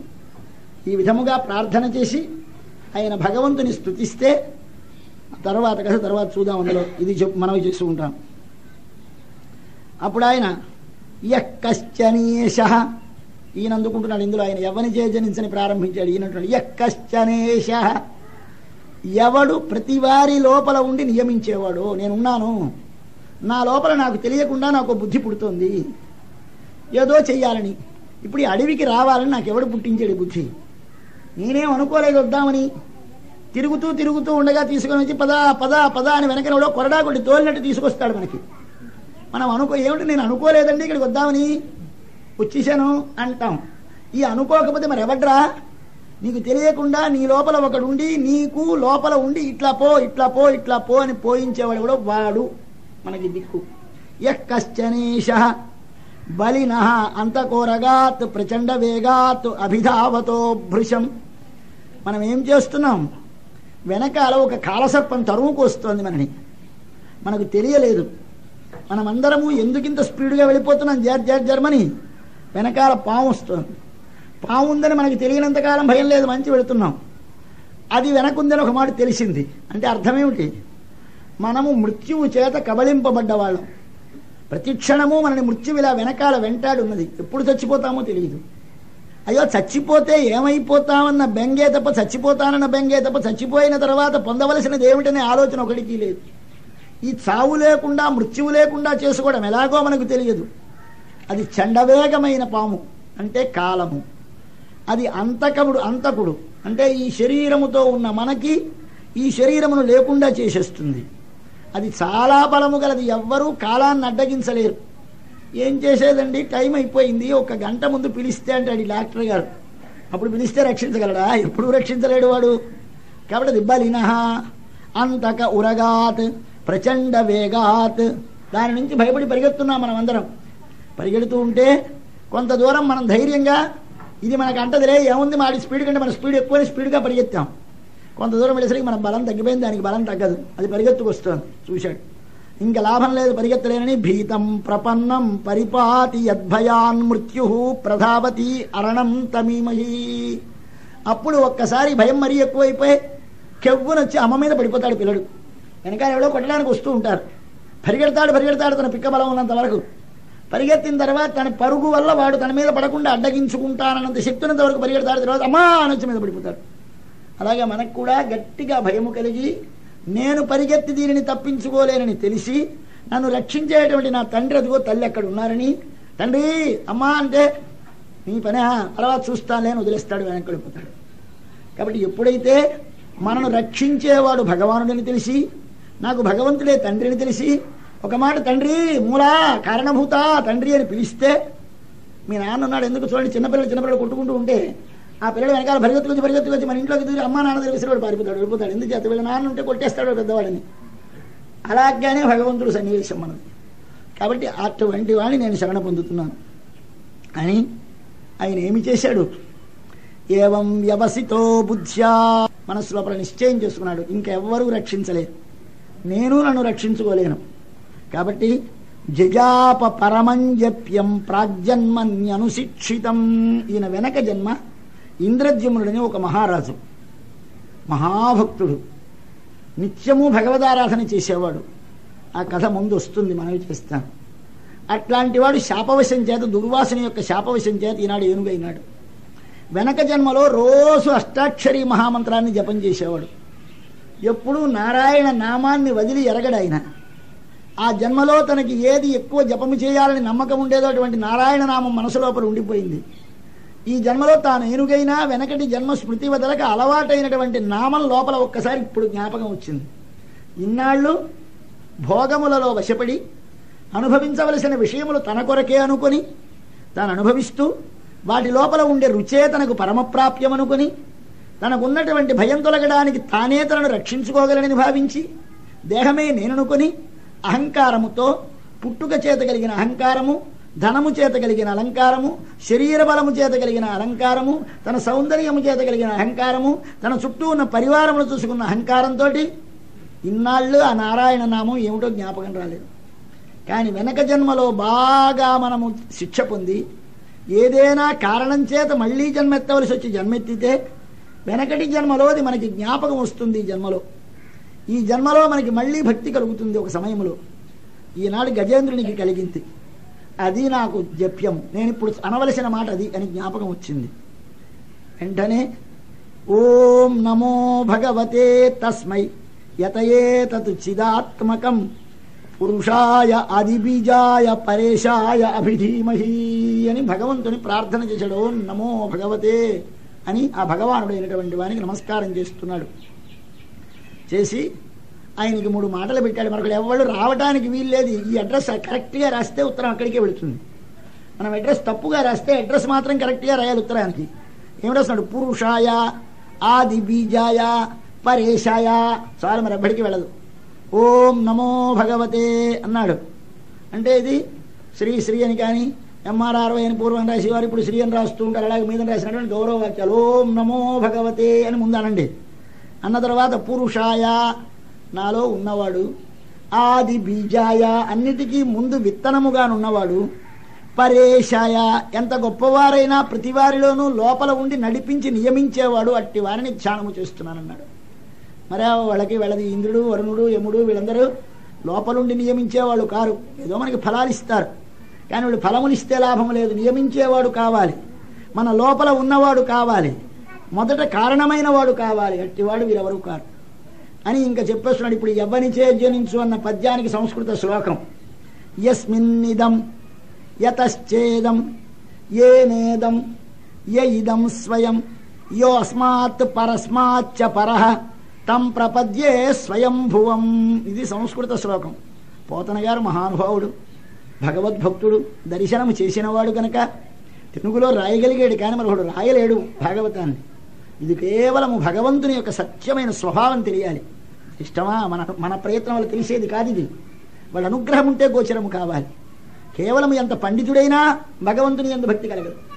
ఎంత తపస్సు చేసినా కలగదు. కేవలము వాడు ఎవరిని అనుగ్రహిస్తే వాడికి కలుగుతుంది.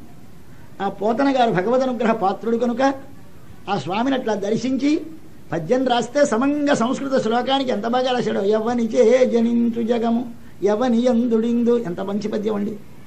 అలాంటి సంస్కృత శ్లోకం ఏం చెప్తున్నాడు? యస్మిన్ ఇదం. అంటే ఇదం. ఇదం అనగానే ఇది. ఆయన ఇది అంటే మనకి బోధపడదేమో అని జగం అనేశాడు ఆయన. జగం అనకూడదు ఇది అనాలి.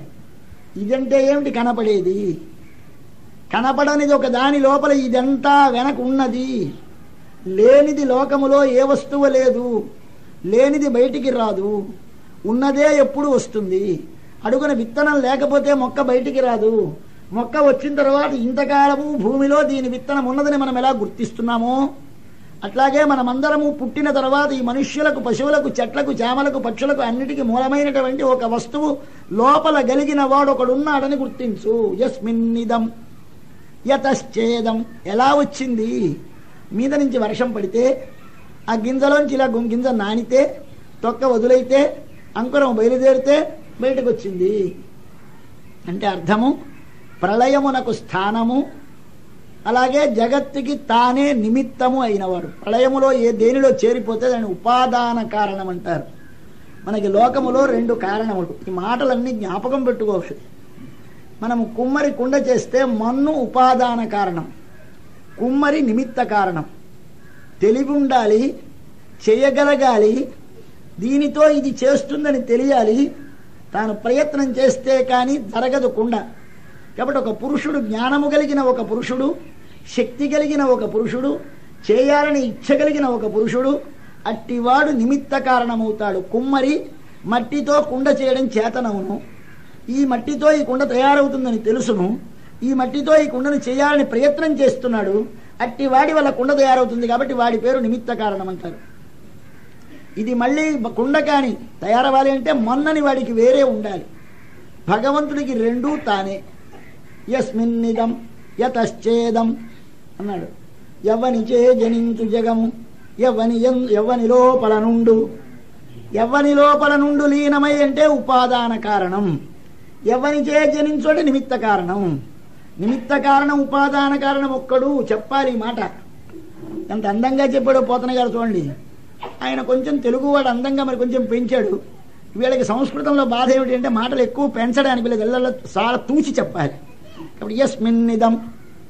అంటే ఎవ్వని లోపల నుండు లీనమై అని అంత మాట అనవలసింది. యస్మిన్నిదం అనేసాడు ఆయన నాలుగు అక్షరాల్లో. యతశ్చేదం అన్నాడు ఆయన నాలుగు అక్షరాలు. ఎవ్వనిచే జనించు జగము అన్నాడు ఆయన. ఇది దానికి భావం. అంటే దీనికి రెండింటికి అర్థమేమి? మనం ఇప్పుడు ఉన్నామంటే మనమందరము సృష్టికి ముందు ఉన్నాం. మన లోపల ఉన్న జీవులందరూ ఉన్నారు. ఈ జీవులందరికీ పైనున్నటువంటి శరీరములుగా మారిన వస్తువు ఉన్నదే దాని పేరు ప్రకృతి ప్రకృతి అంటారు. అది ముద్ద ఉన్నది. ఆ ముద్ద సత్వరజస్తమగుణములు కలిగిన ముద్ద ఏకమైపోయి జీవులందరూ చిన్న చిన్న చిన్న చిన్న చిన్న మిడుగురు పురుగులలాగో బంగారు రజనలాగో అయిపోయి ఒక మైనం ముద్ద లోపల అద్దుకున్నటువంటి బంగారు రజనలాగు వీళ్ళందరూ కలిసిపోయి భగవంతుని లోపల చేరిపోయి భగవంతుని కంటే వేరుగా ఉన్నవి అని గుర్తించడానికి వీలు కాకుండా శక్తి ఎట్లాగైతే ఒక మండే శక్తి అగ్గిపూలలో ఉన్నా అది పుట్టుకుంటే కాలదప్పుడు దాని లోపల మంట ఉందని కనిపించదు. ఆ మంట వచ్చినప్పుడు అబ్బాయి ఇది మండే శక్తి ఉందిరా అని ఇలా తెలుస్తోందో? అలాగే జగత్తంతా భగవంతుని లోపల శక్తి రూపముగా ఉంటుంది. శక్తి అంటే అర్థం దాని నుంచి వేరు చేసి చూపుటకు వీలు కాక ఉండేది దాని పేరు శక్తి అంటాం. అటువంటి ఉన్నటువంటి వీటిని ఒకనాడు ఆయన సంకల్పించి తన శరీరముగా తన నుంచి వేలు వేరు చేయుటకు వీలు కాకున్న పదార్థాన్ని పెరగాలి అనుకుంటాడు. అది కదులుతుంది పెరుగుతుంది. దాని లోపల ఒక్కొక్కదిగా విడివిడిగా చేస్తాడు. దాని లోపల జీవులను పెడతాడు. ఈ జీవుల లోపల తానుంటాడు. మొత్తం ఇప్పుడు ఒకటి తయారైంది. సృష్టికి ముందేమున్నాయి మూడు ఉన్నాయి. అచేతనమైన ప్రకృతి ఉన్నది. జీవులున్నారు. భగవంతుడున్నాడు. ఇప్పుడేమున్నాయి? ఒక పండు చూస్తే పైన కనిపించేది ఇదం ఇది అనేటువంటిది పైన కనిపించే ఆకారం. దానికి లోపల జీవుడు దానికి లోపల పరమాత్మ. ఇది మూడు కలిసి ఉంటాయి. అయితే ఇదేమిటయ్యా? ఇది అదేనండి? ఇది అదేనండి అంటే అప్పుడు మూడు ఉన్నాయి ఇప్పుడు మూడు ఉన్నాయి. కాబట్టి ఈ రెండిటిని తెలుసుకోవాలి. దీనికి కారణం అదని? ఆ కారణం నుండి ఇది వచ్చిందని ఎప్పుడు దాని మీదే ఆధారపడి ఉంటుందని పండు రంగు రుచి మూడున్నాయి ఒక పండు మనకి తెలుసును. ఈ పండుకి రంగు ఒకటి ఉన్నది రుచి ఒకటి ఉన్నది. ఈ రంగు రుచి రెండు ఉంటే రంగు రుచి ఒకటి కావు. రంగు వేరు రుచి వేరు. అయితే పండు రంగు ఒకటి కావు. పండు రుచి ఒకటి కావు. పండు వేరు రంగు వేరు రుచి వేరు. ఈ రెండు వేరైన రంగు రుచి ఒకే పండు మీద ఆధారపడి ఉంటాయి. పండు లేకుండా అయ్యా మాకు రంగు బాగుందా రంగు ఇచ్చేయండి మాకు పండక్కర్లేదంటే ఎవడు తీసి ఇవ్వలేడు. ఏ మాకు రుచి కావాలా పండక్కర్లేదంటే ఎవడు ఇవ్వలేదు. కాబట్టి మీకు ఆ పులుపు నోటికి తగలాలి తీపి నోటికి తగలాలి అంటే ఆ తీపి అనే రుచి కలిగినటువంటి తొన నోట్లో వేసుకుంటేనే రుచి అనేది తెలుస్తుంది. ఆ పండును చూస్తేనే రంగు కనిపిస్తుంది. కాబట్టి రంగు రుచి అనేవి ఎలాంటివో అలాగే జీవులు అనేవారు ప్రకృతి అనేవారు పండు లాంటి భగవంతుడి మీద ఆధారపడి ఉంటారు. ఈ ఆధారపడి ఉన్నటువంటి ఈయన లోపల ఉన్నాడని తెలియకుండా ఇది వేరనుకోవడం మనందరి యొక్క భ్రాంతి. ఇది మన మాయ. ఇది అజ్ఞానం. ఇది తెలుసుకుంటే సృష్టికి ముందు ఈ మూడు ఉన్నాయి ఇప్పుడు మూడు ఉన్నాయని తెలుస్తుంది. ఇది తెలిసింది ఇవాళ మనకి. ఎప్పటికి వెయ్యి ఏళ్ళ తర్వాత మొసలి పట్టి లాగేస్తూ ఉంటే సరే చచ్చిపోతాం చచ్చిపోతామనేటువంటి స్థితి వచ్చేస్తే ఇప్పుడు మహానుభావుడు కనుక వెనక జన్మలో అన్నాడు నారాయణ మంత్రాన్ని జపం చేసిన వాడు కనుక ఈ జన్మలో జ్ఞాపకం వచ్చింది.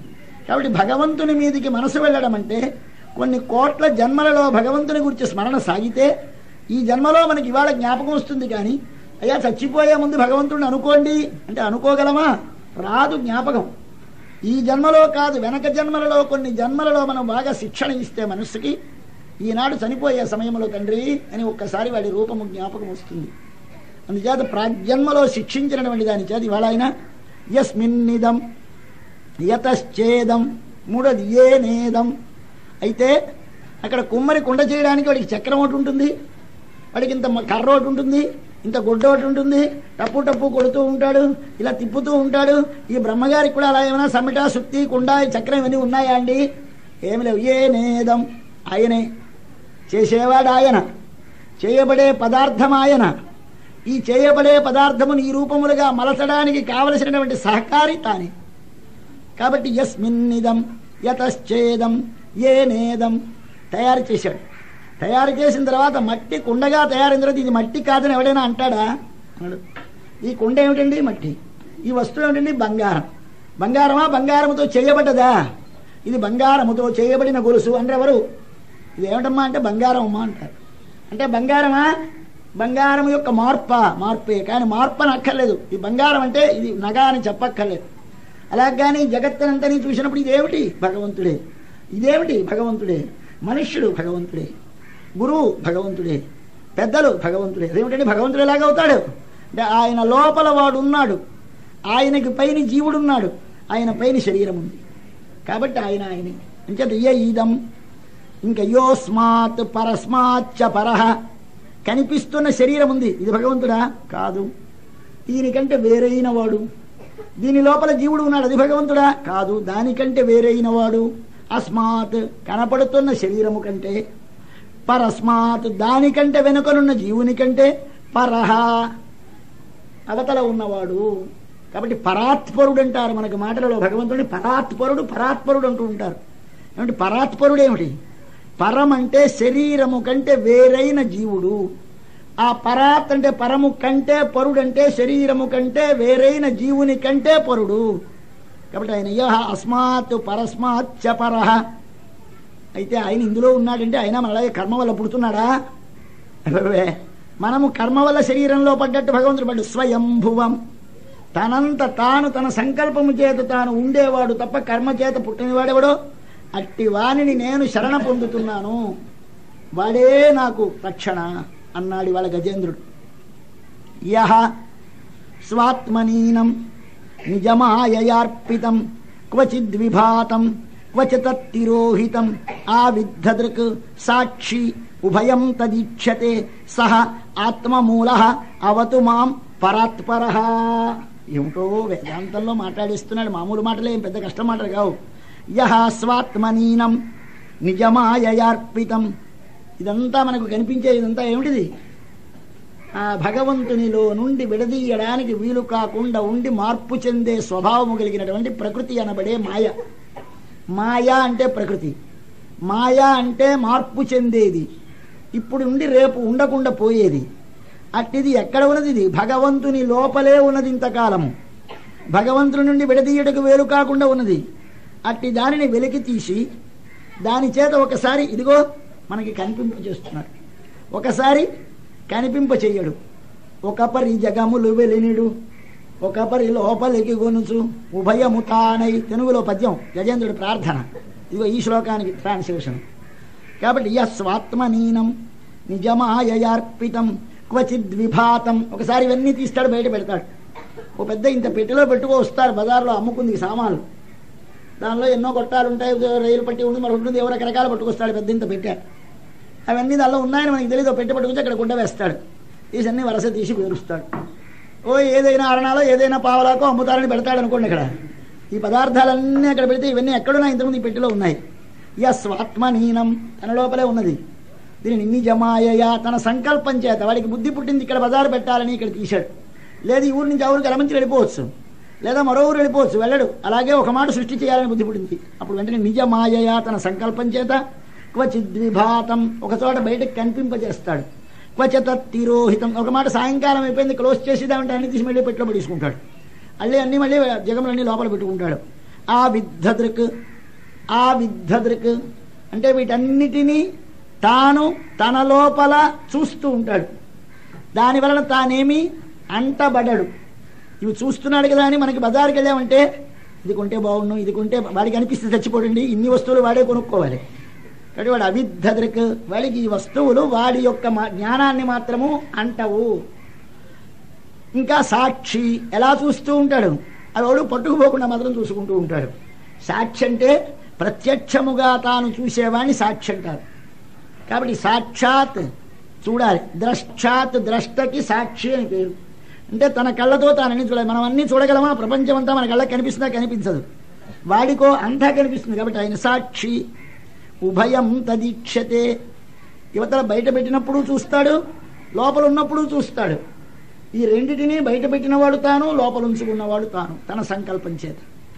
ఆ రెండిటిని చూస్తూ ఇది నాది ఇది నేను పొందాలి ఇది నేను అనుభవించాలనేటువంటి కోరిక లేనివాడు తాను. ఆ రెండిటిని తాను ఎప్పుడూ చూస్తున్నవాడు తాను. ఆత్మ మూల. ఈ లోపలుండే ఆత్మలకన్నిటికీ కారణమైన వాడు తాను.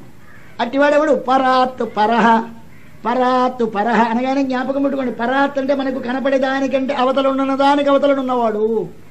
మనకు కనపడేది ప్రకృతి. దీనికి అవతలనున్నవాడు జీవుడు. దానికి అవతలనున్నవాడు భగవంతుడు. కనుక పరాత్ పరహ. కాలేన పంచత్వమితేషు. కృత్స్న లోకేషు పాలేషు చ సర్వహేతుషు.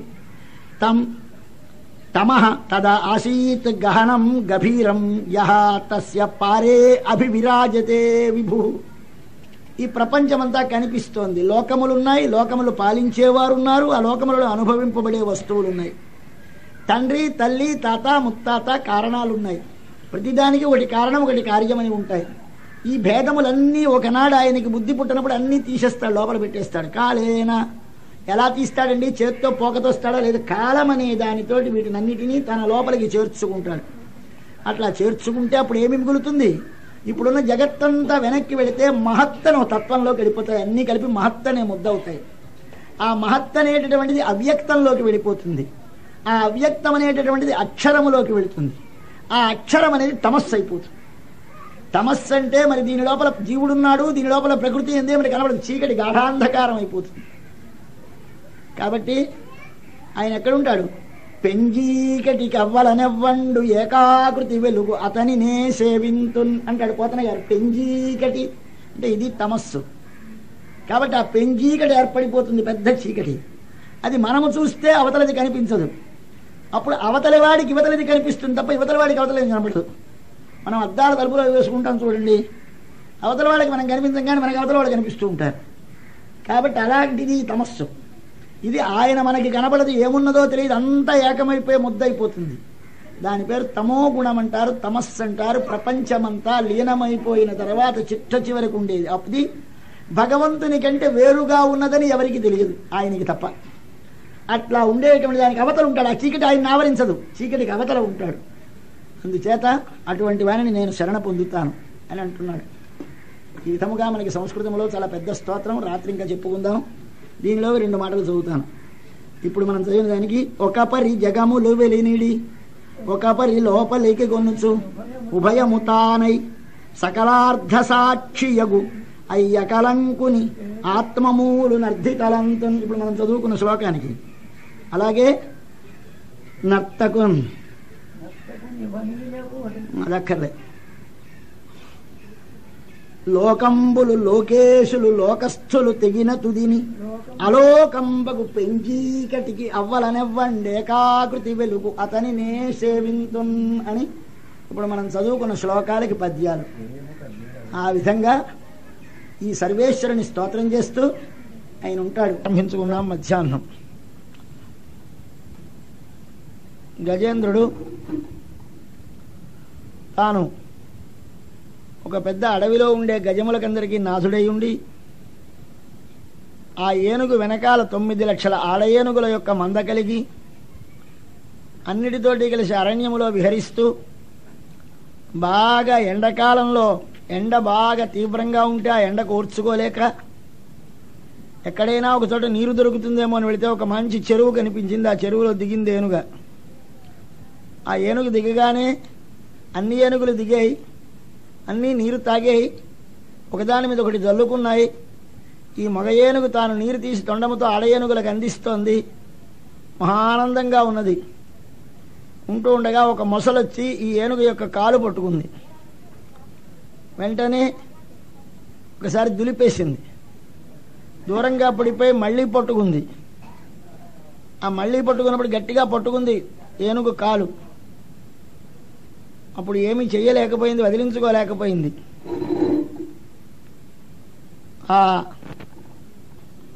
మొసలి పట్టు తప్పించుకోలేక ఆడ ఏనుగులన్నీ నదిలోంచి వెళ్ళి ఆ సరస్సులోంచి వెళ్ళి ఒడ్డున నిలబడితే అవేమైనా రక్షిస్తాయేమో అని కొంతసేపు చూసింది అవి రక్షించలేదు. తాను విడిపించుకోలేకపోయింది. అలాగా మొసలి వదిలించుకుందికి మొసలి లోపలికిలాగా వెలుపలికి ఏనుగులాగా ఇట్లాగ ఒక వెయ్యి సంవత్సరాలు గడిచిపోయింది. ఈ ఏనుగు సామాన్యమైన ఏనుగు కాదు. వెనక ఒక పెద్ద చక్రవర్తి ఏనుగు. అది ఒక తప్పు చేసింది ఒక ఋషుడి దగ్గర. ఆ తప్పు వల్ల ఆయన శాపం ఇచ్చాడు నీవు మళ్ళీ జన్మలో ఏనుగువై పుట్టుదువుగా కాని అందుచేత ఏనుగైంది. కానీ వెనకటి జన్మలో సంతతము భగవంతుణ్ణే స్మరిస్తూ భగవంతుడికే పూజ చేస్తూ భగవంతుణ్ణే ధ్యానం చేస్తూ ఉండడం చేత దానికి లోపల మాత్రము భగవంతుని మీద జ్ఞానం ఉంది. బయటికి రూపము మాత్రము ఏనుగు రూపంలో ఉన్నది. ఒక్కసారి ఆ వెనకటి జన్మలో ఉన్న మాట జ్ఞాపకం వచ్చింది. నారాయణ నారాయణ నారాయణ అనాలి అని జ్ఞాపకం వచ్చింది. వెంటనే ఒక్కసారి వీరెవరు రక్షించేవారు కారు? నేను నన్ను రక్షించుకోలేను. నా వారెవరూ నన్ను కాపాడలేరని జ్ఞానం కలిగి ఒకసారి భగవంతుణ్ణి ప్రార్థిస్తోంది. భగవంతుడంటే మన సంప్రదాయంలో ఒక పేరు పెట్టి పిలవం. అందరికీ వాడు దేవుడు వీడు దేవుడు అంటే వీడు కాదు వాడు కాదు లోకమనంతను ఎవడు పుట్టించాడో లోకమంతా ఎవని వలన నిలుస్తోందో లోకమంతా ఎవని లోపల మనలు చేరుతోందో ఎవడు అన్ని వస్తువులలో ఉన్నాడో ఎవడు అన్ని వస్తువులను నడుపుతున్నాడో ఎవడు అన్ని వస్తువులను మరల తన కొరకు తాను ఉపయోగించుకుంటున్నాడో అట్టివాడు మనకి దేవుడు. కాబట్టి దేవుడు అంటే ఒక వ్యక్తి కాదు. దేవుడంటే ఒక్క పేరు గలవాడు కాడు. ఒకే రకమైన రూపము గలవాడు కాడు. అన్ని వస్తువులలో తాను ఉండేవాడు. అన్నిటినీ నిలబెట్టేవాడు నడిపించేవాడు. అట్లాంటి సర్వేశ్వరుడని మనం అంటాం భగవంతుడు అంటాం అని అట్టి భగవంతుడిని ప్రార్థిస్తోంది. ప్రార్థించి నయస్య దేవా ఋషయ పదం విదు. జంతు పునః కోర్హతి గంతుమీరితుం. భగవంతుడు ఎలాగుంటాడు చెప్పండి అని ప్ర- అడిగితే ఋషులు చెప్పలేరు దేవతలు చెప్పలేరట భగవంతుడి యొక్క స్వరూపాన్ని గురించి. అది మానవుల యొక్క మనసుకు అందేది కాదు. అది కేవలముగా ఆయన నటుల్లాగు అనేక రూపాలతో వస్తాడు ఒక వేషగాడు. ఆయన లోపల గ్రీన్ లోములో కూడా ఒక మాట నలుడుగా వేషం వేసుకొస్తాడు ఒక మాట ధర్మరాజుగా వేషం వేసుకొస్తాడు ఒకసారి రాముడిగా వేషం వేసి ఒక కృష్ణుడిగా వేషం వస్తే యువతలకు వచ్చినప్పుడు చూసినప్పుడు రామ కృష్ణ అంటాం. కానీ వాడు వెనక్కి వెళ్ళిపోతే వాడు ఎప్పుడు ఒకడే వాడి పేరు. అలాంటి వాడు భగవంతుడు. అందుచేత అనేకమైన రూపములతో ఒకసారి మనల్ని రక్షించడానికి అవసరమని చాపై వచ్చాడు స్వామి. ఒకప్పుడు కూర్మమై తాబేలై వచ్చాడు. ఒకసారి నరసింహమై వచ్చాడు. ఒకసారి రాముడై వచ్చాడు. ఒకప్పుడు కృష్ణుడై వచ్చాడు. ఇన్ని రూపములను మన కోసమని తాను వేసుకుని వచ్చినటువంటి వేషగాడు మన స్వామి సర్వేశ్వరుడు. అట్టి వారిని మనము తెలుసుకునలేము. ఆయన యొక్క అనుగ్రహం లేకపోతే ఆయన కటాక్షం లేకపోతే భగవంతుడు ఇలా ఉంటాడని ఎవరు గుర్తించ గుర్తించలేరు. దిదృక్షవో యస్య పదం.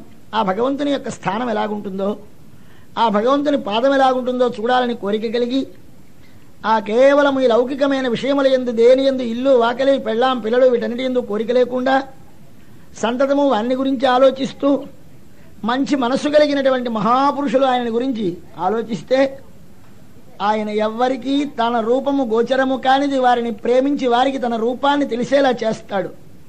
అటువంటి వాడికి నేను నమస్కారం చేస్తున్నాను. అని ఈ విధంగా భగవంతుని స్తోత్రం చేశాడు ఆయన. చేసి నమశాంతాయ ఘోరాయ మూఢాయ గుణధర్మినే నిర్విశేషాయ సామ్యాయ నమో జ్ఞానఘనాయ చ. ఆయనే లోకములో ఉన్న మంచి ఏమి ఆవేశములు లేనివాడు ఆయనే. లోకములో కొంతమంది ఘోరంగా ఇతరుల్ని బాధ పెట్టేవారు వారి లోపల ఆయనే. ఒకడు కేవలం మూర్ఖుడు వాడి లోపల ఆయనే. ఒకడు మంచి గుణములు గలవాడు వాని లోపల భగవంతుడు ఆయనే. ఆయన ఏ విధమైనటువంటి తేడాలు లేకుండా అందరినీ ఏకరూపముగా చూసేటువంటి వాడు జ్ఞానమే కలవాడు అట్టి సర్వేశ్వరునికి నమస్కారము. అని ఆ స్వామిని ప్రార్థిస్తూ మాదృక్ ప్రపన్న పశుపాశ విమోక్షణాయ స్వామి నీవే శరణము అని ఎవరు నమ్ముతారో నీవే దిక్కని నమ్మిన వారికి మాత్రము వారికి ఏ విధమైన ఆపద కలగకుండా కాపాడేవాడు ఆయన. ఆయన ఏ విధమైనటువంటి బంధములు కానీ కర్మలు కానీ రోగములు కానీ మాలిన్యములు కానీ రజస్సు కానీ తమస్సు కానీ ఏ దోషములు లేనివాడు ఆయన. అపారమైన దయగలవాడు ఆయన. ఏ విధమైనటువంటి ఒక దాని ఎందు తాను చేరి తాను దాని వలన మారిపోవడం అనే గుణ గుణము లేనివాడు ఆయన. అన్నిటినీ తన శరీరముగా దాల్చినవాడు ఆయన. తనకు తాను ఎప్పుడు ప్రకాశిస్తూ ఉండేవాడు ఆయన. అట్టి వానికి నమస్కారము అని ఆయన గురించి అనేకమైనటువంటి వేదాంతములో మనకు ఉపనిషత్తులలో చెప్పిన పరమరహస్యములైనవన్నీ చెప్పి ఆ గజేంద్రుడు స్తోత్రం చేశాడు. నమో నమస్తుభ్యమసహ్య వేగ శక్తిత్రయాయ అఖిలధీగుణాయ ప్రసన్న ప్రపన్న పాలాయ దురంత శక్తియే కదింద్రియాణం అనవాప్యవర్త్మనే. భగవంతుడు కావాలని అందరికీ ఉంటుంది కోరిక కానీ మనము కంటితో చెవితో ముక్కుతో ఇంద్రియములతో చూసే విషయములే మనకి కావాలి కానీ భగవంతుడు అక్కర్లేదు.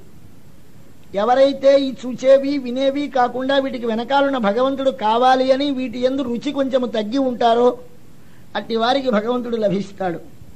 అట్టి మహాపురుషుడైనటువంటి భగవంతుడు నన్ను రక్షించాలి అని ఏమి పేరు పెట్టకుండా ఊరు పెట్టకుండా భగవంతుడిని ప్రార్థించాడు. దీనికే మన పోతన గారు భగవంతుడి యొక్క స్తోత్రం చేశాడు తెలుగులో. దానిని కూడా కొన్ని పద్యాలు చదువుకుందాం. అది మనకి బాగా అందరికీ తెలిసినది. చాలామంది ఇంతకుముందు విన్నది. నాట్యం వేసేవాడు వేషాలు మార్చినట్టుగా ఉంటాడు భగవంతుడని. దానికి పోతన గారు ఒక పద్యం రాశాడు. నర్తకుని భంగి పెక్కగు మూర్తులతో ఎవ్వడాడు. మునులు దివిజులున్ కీర్తింపనేరరు ఎవ్వని. వర్తనమురులిరుగరు అట్టివా నిన్ను తింటున్ లోకంలో నాట్యం ఆడేవాడు ఒకప్పుడు ఒక వేషం ఒకప్పుడు ఒక వేషం తోటి స్టేజ్ మీదకి వచ్చినట్టే వస్తాడు. ఆయన మనకి ఈ లోకంలో కనిపిస్తాడు. చూసి అదే వేషం అనుకొని కొంతమంది రామా నువ్వే తప్ప దేవుడు లేడంటాడు కొందరు. కృష్ణ నువ్వే తప్ప దేవుడు లేడంటాడు మరొకడు. ఆహా మా నృసింహస్వామి గొప్పవారండి ఇతరులు ఏమిటంటారు కొంతమంది. అయ్యా ఇన్ని ఆ గ్రీన్లో వెళితే ఇందరు ఒకడే. శ్రీవైకుంఠానికి వెళితే ఆ మహాపురుషుడు శ్రీ విష్ణులోకంలో ఆ పరమపదంలోకి వెళితే ఏకరూపముగా ఉంటాడు. అన్నీ తానై అన్నీ తనయందుండి అన్నిటిలో తానున్నవాడై ఉంటాడు. ముక్త సంగులైన మునులు ఈ లోకములో ఉండే విషయముల మీద కోరిక లేని వారిని ముక్త సంగులు అంటారు. అన్నిటి మీద మనకందరికీ సంగము. సంఘం అంటే ఇది నాది ఇది నాది అనుకునే వాళ్ళమందరము సంఘము కలవారం ఆ మునులు అంటే భగవంతుణ్ణి గురించి ఆలోచించేవారు మునులు. భగవంతుని గురించి ఆలోచించేటువంటి వారికి లోకముండే విషయములు ఇవన్నీ భగవంతుని అని తెలియడం చేత ఇది నాది అనడానికి వాళ్ళకి సిగ్గు వేస్తుంది.